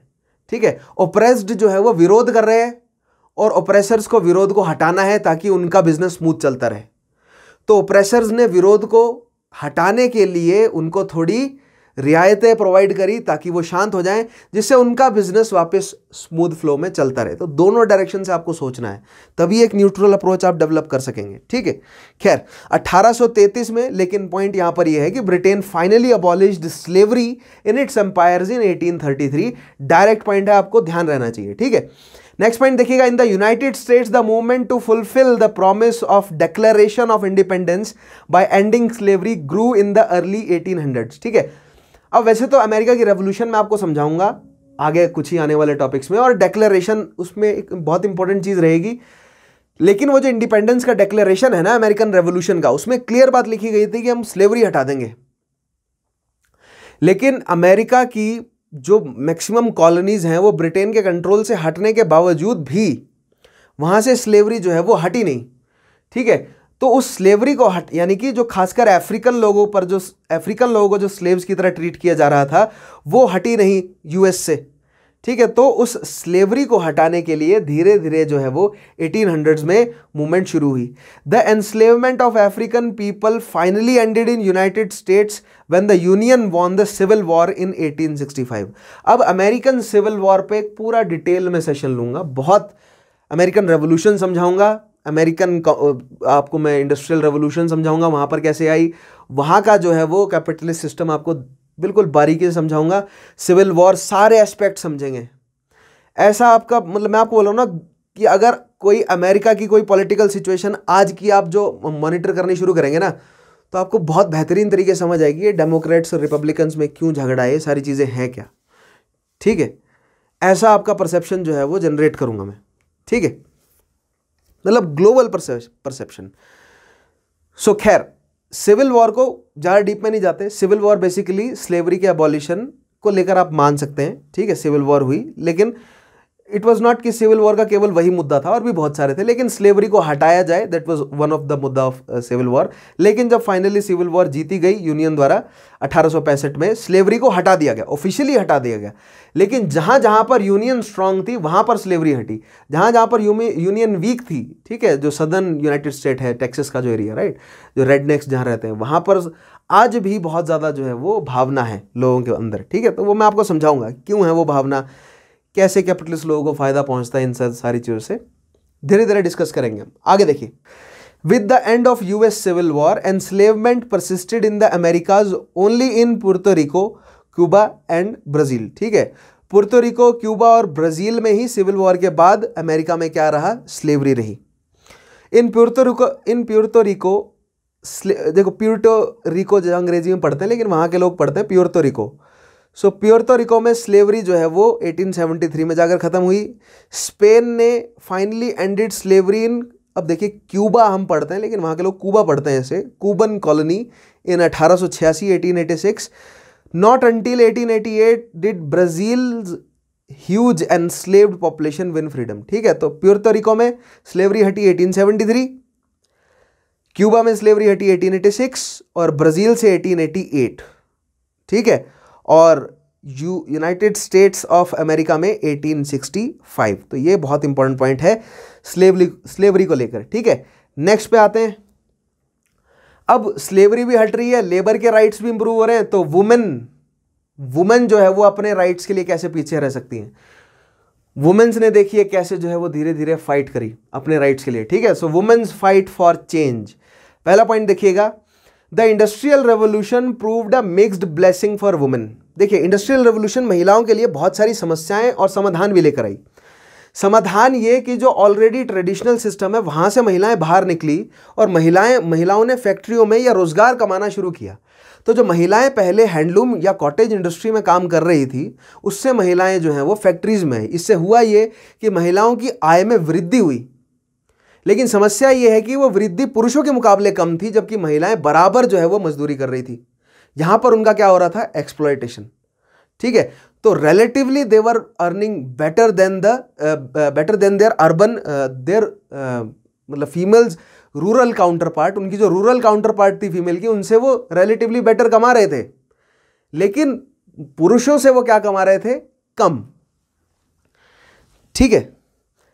द इंडस्ट सेकेंड पॉइंट देखिएगा on the other hand factory work offered higher wages than work done at home for instance women spinners in Manchester earn more money than women who stayed home to spin cotton thread On the other hand, women factory workers usually made only one third as much money as man right one third ही कमा रही थी half भी नहीं one third कमा रही थी अगर एक वुमन फैक्ट्री में काम कर रही है, एक पुरुष के साथ तो महिलाओं को एक तिहाई जो है वो दिया जा रहा था पैसा जितना मर्दों का दिया जाए, ठीक है? Women led reform movements to address this and other passing social issues. During the mid 1800s for example, women started forming trade unions in, trade unions in trades where they were in majority and started to bargain for their better wages and better working conditions obviously the first organized बहुत important point है यहाँ पर आता है बहुत important point the first organized movement for British women suffrage was the Langham Place Circle of the 1850s led by Barbara Boddicon and Bessie Rayner Parks ठीक है बहुत इंपॉर्टेंट पॉइंट है ये दो बहुत इंपॉर्टेंट महिलाएँ हैं बारबरा बॉडीकॉन और बेसी रेनर पार्क्स जिन्होंने लैंगहम प्लेस सर्कल 1850s की जो वुमेन, पहली जो ऑर्गेनाइजेशन है, पहला बड़ा ऑर्गेनाइजेशन था किसका? वुमेन ऑपरेशन के खिलाफ जो मूवमेंट रही, ठीक है, कहाँ की? लैंगम प्लेस सर्कल की, उसको लीड किया 1850s में। तो बहुत इंपॉर्टेंट दो महिलाएँ हैं, इनका नाम आपको याद रहना बहुत ज़रूरी है, ठीक है? They also campaign for improve female rights in law employment education and marriage ठीक है? सो चाहे वो इकोनॉमिक गेन्स हो महिलाओं के लिए सोशल गेन्स हो पॉलिटिकल हो, या फैमिली लॉज जो है सिविल लॉज हैं, उसमें गेन्स हो, इन सब के लिए उन्होंने एडवोकेसी करी। ठीक है? So women's fight for change के लिए हमारे पास ये एग्ज़ाम्पल देखने को आ जाता है। ड्यूरिंग इंडस्ट्रियल रेवोल्यूशन अब ध्यान रखिएगा this was only during industrial revolution आगे की बात हम आगे करेंगे, ठीक है? पूरा हमें वुमेन राइट्स के वुमेन वुमेन राइट्स को लेकर बहुत सारे एग्जाम्पल्स हमारे पास प्रिपेयर्ड होने चाहिए। बहुत एग्ज़ाम पॉइंट ऑफ़ व्यू से बहुत इंपॉर्टेंट होता है। ठीक है, अगर आप कोई भी आंसर लिख रहे हैं और अगर उसमें आप वुमेन एक्टिविजन का अगर कोई एंगल लेकर आ गए और कोई आपने ठोस जो है वो वहाँ पर एग्ज़ाम्पल जो है वो प्रोड्यूस कर दिया साइट कर दिया वहाँ पे तो आपके मार्क्स जो हैं वो इम्प्रूव हो गए। समझ लीजिएगा। तो ये बहुत इंपॉर्टेंट रहता है। फीमेल एक्टिविज़म या मतलब फेमिनिज्म के पॉइंट ऑफ़ व्यू को अगर आप मतलब एग्जामिनर देखना चाहता है कि क्या आप इस चीज़ को डीपली समझते हैं या नहीं, क्योंकि मेरी पर्सनल समझ ये है कि महिलाओं को ओवरकम कर लेना चाहिए हर एक इकोनॉमिक पॉलिटिकल स्फीयर को, क्योंकि जो पुरुषों का जो ग्रीड है ना खास तौर पर जो मैंने आपको बताया ना, इमैनुअल कांत ने किस तरह समझाया था कि पुरुष पुरुष से हमेशा लड़ना चाहता है। पीस नहीं क्रिएट होगा धरती पर जब तक पुरुषों के कंट्रोल में रहेगा सिस्टम महिलाओं के कंट्रोल में सिस्टम आएगा तो पुरुष जो है वो थोड़ा लीश में रहेंगे और सिस्टम जो है वो एक मतलब हारमोनियस तभी हो पाएगा। खैर, अब देखते हैं अन्य रिफॉर्म्स के बारे में। अदर रिफॉर्म्स देखिए क्या क्या है। पहला पॉइंट समझिएगा। Gradually the reforms spread to other areas of life in United States and western Europe reformers tried to correct the problems troubling the newly industrialise nations देखिए, जो भी ये जो जितनी भी इंडस्ट्रियल प्रॉब्लम्स थी, ये पहले जो शुरुआती इंडस्ट्रियल रेवोल्यूशन हुई ऑब्वियसली वहीं पर ही शुरुआती ट्रेड यूनियंस बनी होंगी। ऑब्वियसली उन्हीं के ही वर्कर्स को जो है वो शुरुआती फ़ायदा पहुँचा होगा। लेकिन जब धीरे धीरे यही ट्रेड यूनियंस और यही जो लेबर फेडरेशंस हैं ये ग्लोबल लेवल पर पहुँची और जो अन्य राष्ट्र, अन्य जो नए इंडस्ट्रियलाइज्ड राष्ट्र हैं, वहाँ पर वही जो एक्सप्लोइटेशन का चक्र उन्होंने देखा तो अब जो नए इंडस्ट्रियलाइज्ड राष्ट्र हैं, उनके लेबर को अपलिफ्ट करने का काम जो है वो in already established well established labour federations ने उठाया। ठीक है, कहाँ के? यूनाइटेड स्टेट और वेस्टर्न यूरोप के।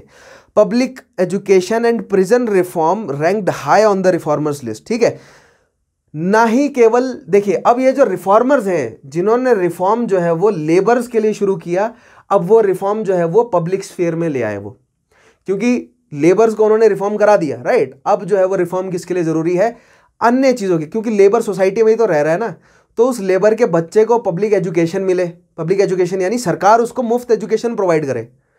ठीक है?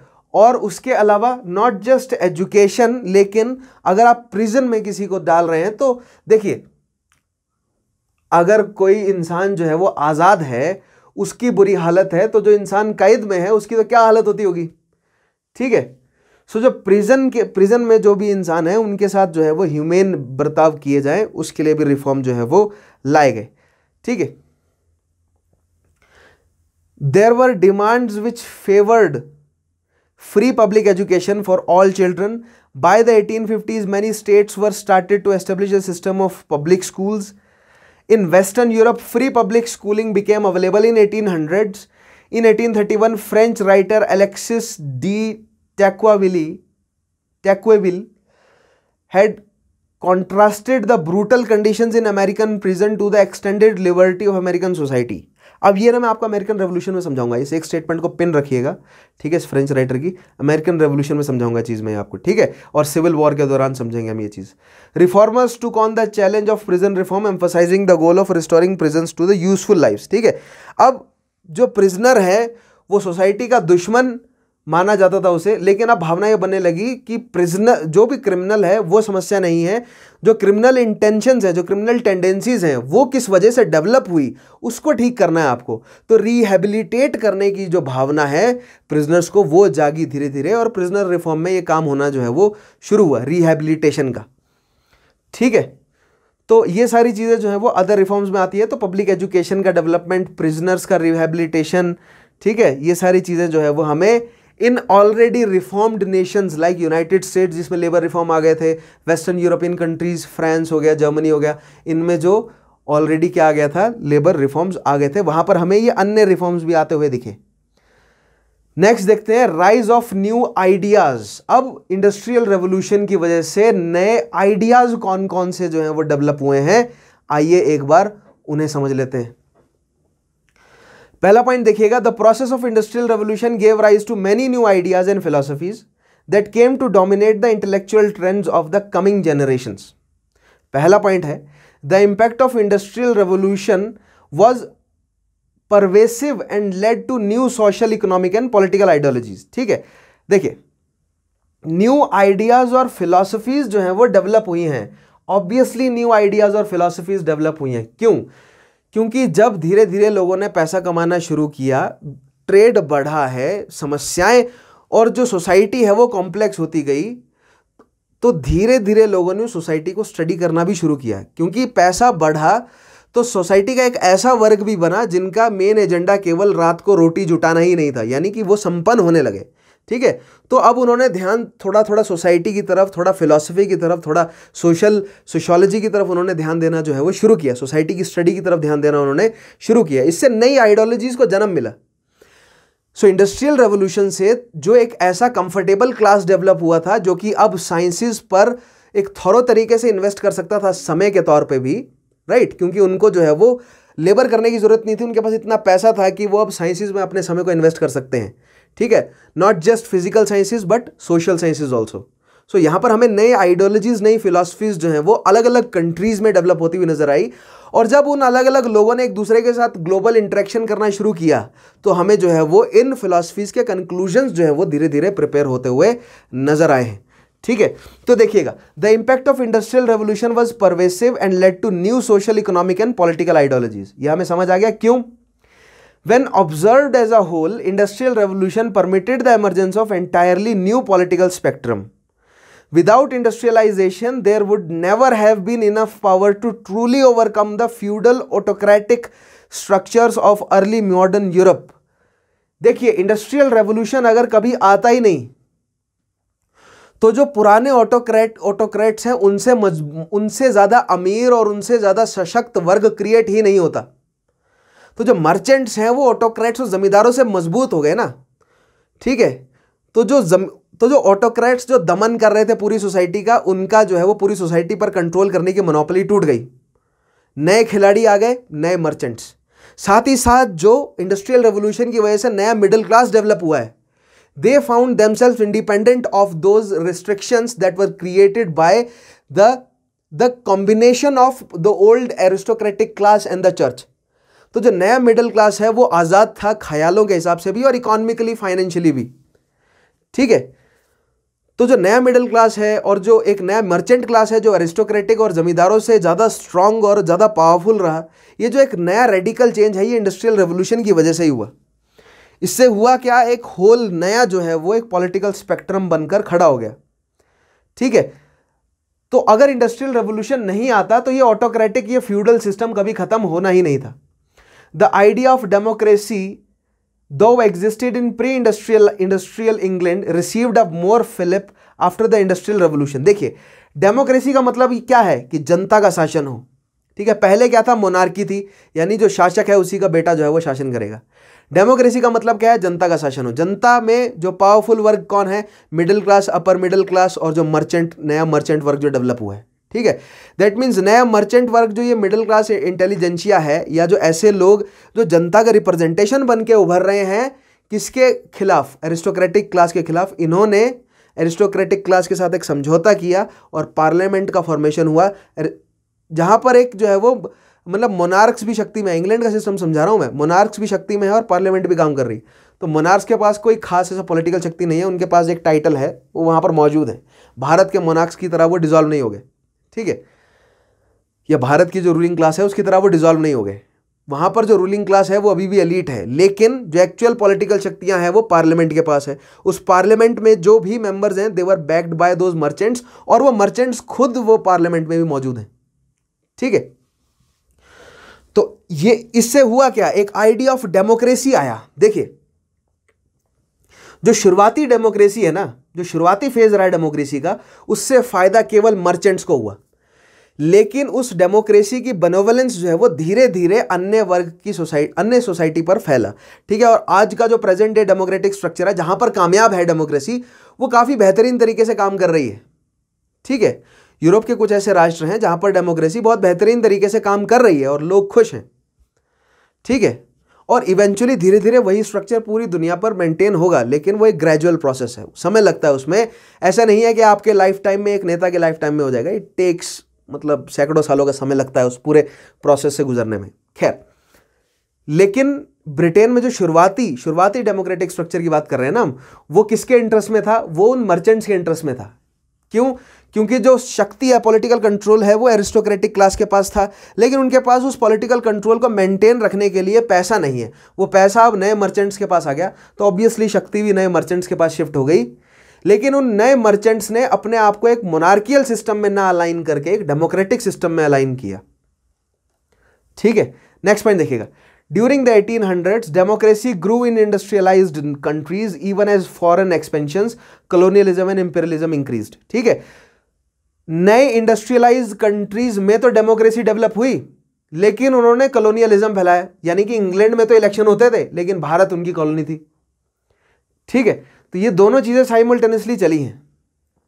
नेक्स्ट पॉइंट देखिएगा it created motivations for imperialism and heightened already tense rivalries among nations देखिए फ्रांस हो गया जर्मनी हो गया, ये जो बाद में इंडस्ट्रियल रेवोल्यूशन जिनमें आया है, जिन राष्ट्रों में आया है, वो ऑब्वियसली नेचुरल कंपटीशन और नेचुरल राइवल्स रहे ब्रिटेन के।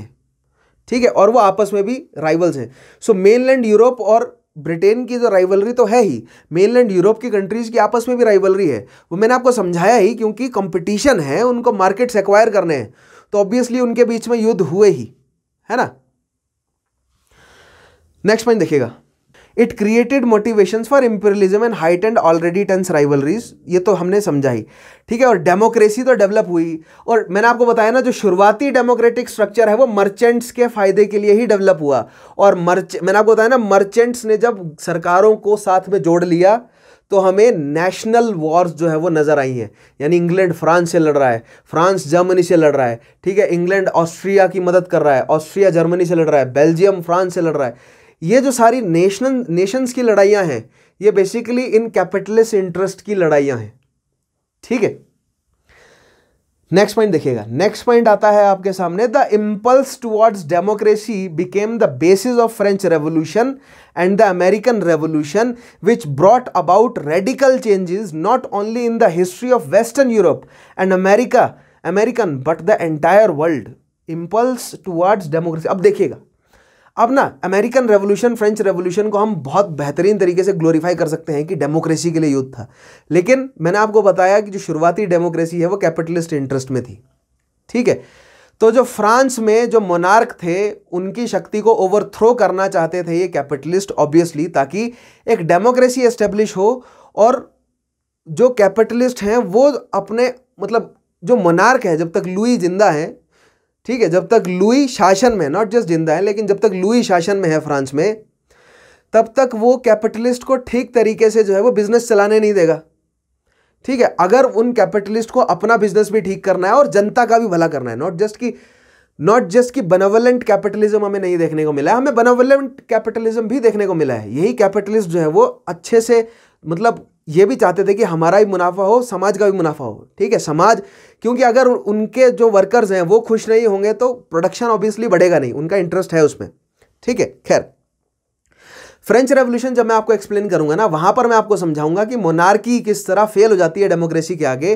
क्यों? क्योंकि मोनार्की क्योंकि जो मोनार्कियल शक्तियाँ हैं, या जो मोनार्क्स हैं, जो पुराना फ्यूडल ऑर्डर है, जो एरिस्टोक्रेसी है, वो फाइनेंशियली वीक है as compare to new merchants right right? तो उनको they have to step down और एक नया इकोनॉमिक स्ट्रक्चर आना ही था। सो दिस डेमोक्रेसी की स्थापना होना is again a process of change is again a dispute between old order and new order old order क्या है? The power is in the hand of monarchs और aristocracy new order क्या है? The power should shift in the hands of the emerging merchant class और capitalist right in form of a democratic government right so democratic government जो है वो इसीलिए हमें revolutions देखने को मिलेंगी लाइन से French revolution American revolution French revolution Russian revolution Chinese revolution हो सकता है इनकी आइडियोलॉजीज अलग अलग हो। हो सकता है कि यहाँ पर जो है वो कुछ पॉजिटिव इम्पैक्ट कुछ नेगेटिव इम्पैक्ट हुए। बट अगर आप डिटेल में या अगर आप कोर ढूंढना चाहेंगे इन सभी रेवोल्यूशंस का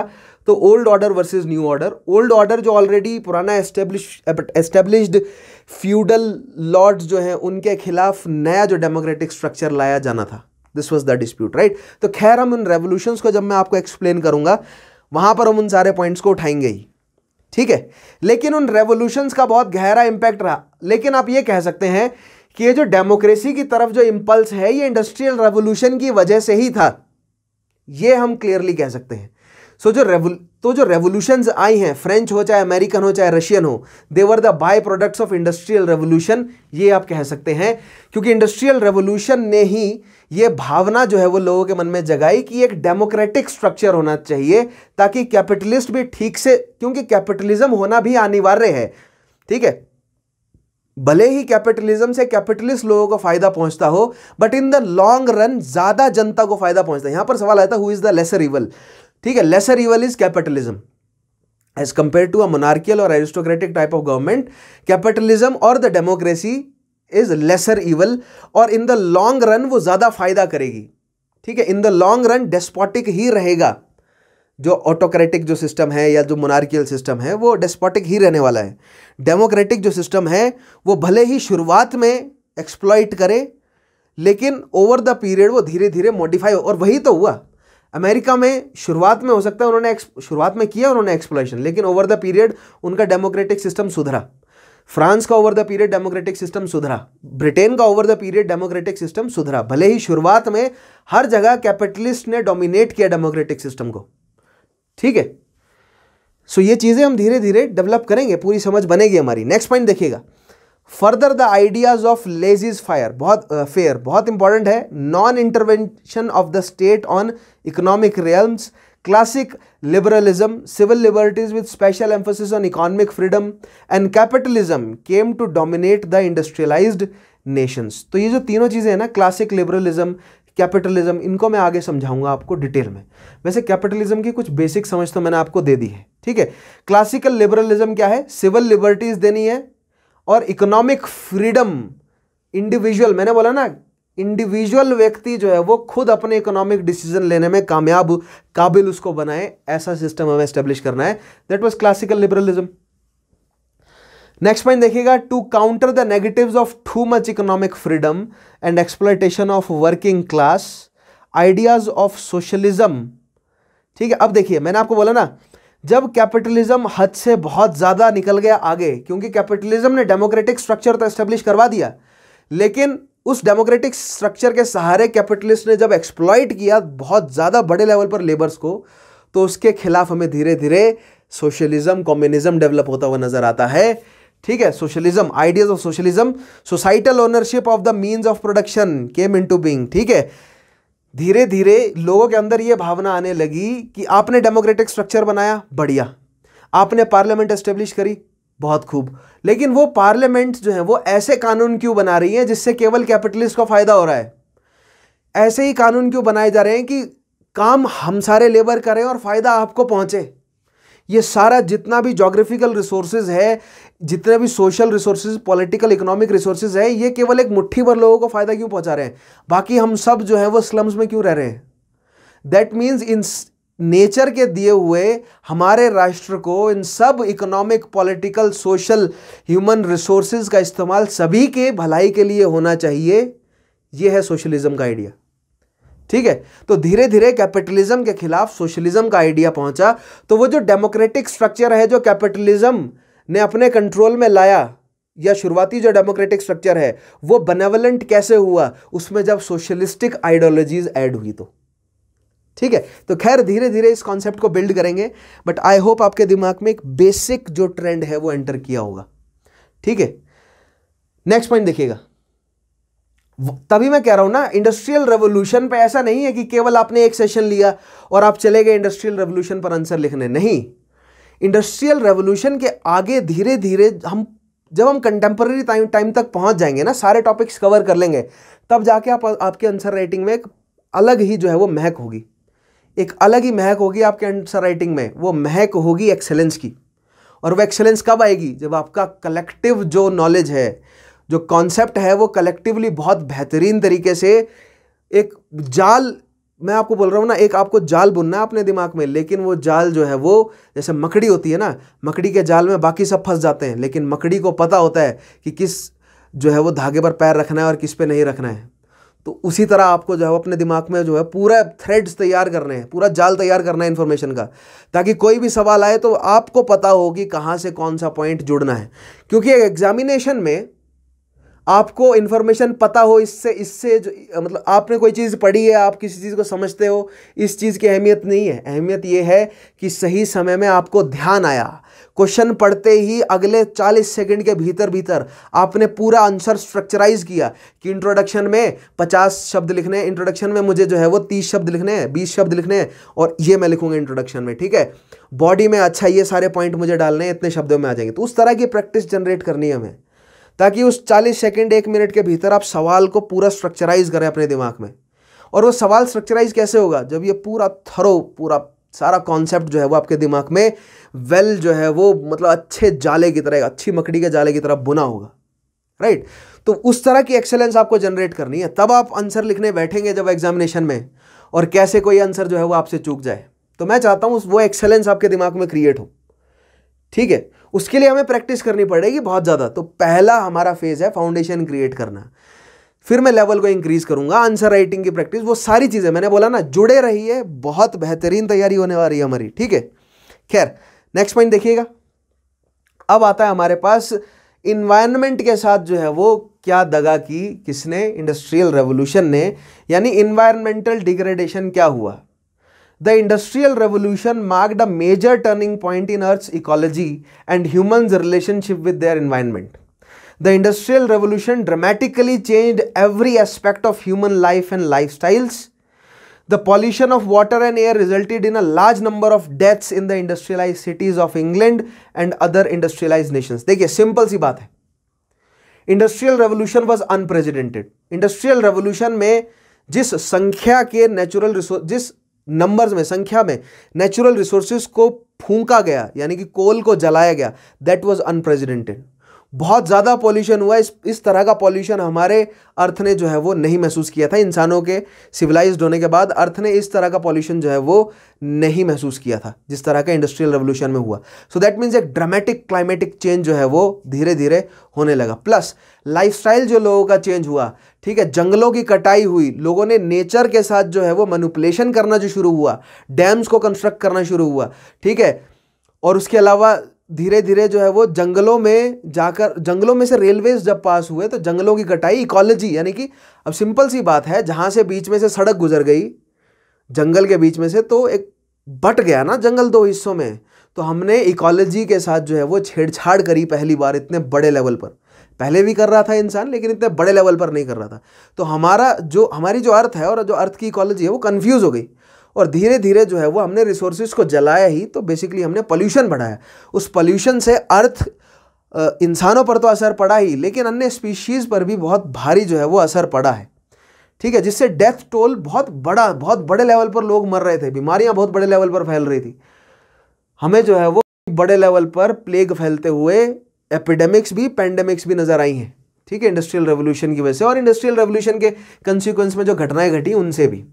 खैर it was only in nineteen seventies nearly after two hundred years of beginning of industrial revolution that the attention of global community shifted towards the negative effects of industrialization on the environment and strategies were devised to mitigate these negative effects ठीक है 1970 के बाद जो है वो खास तौर पर ध्यान देना शुरू किया गया।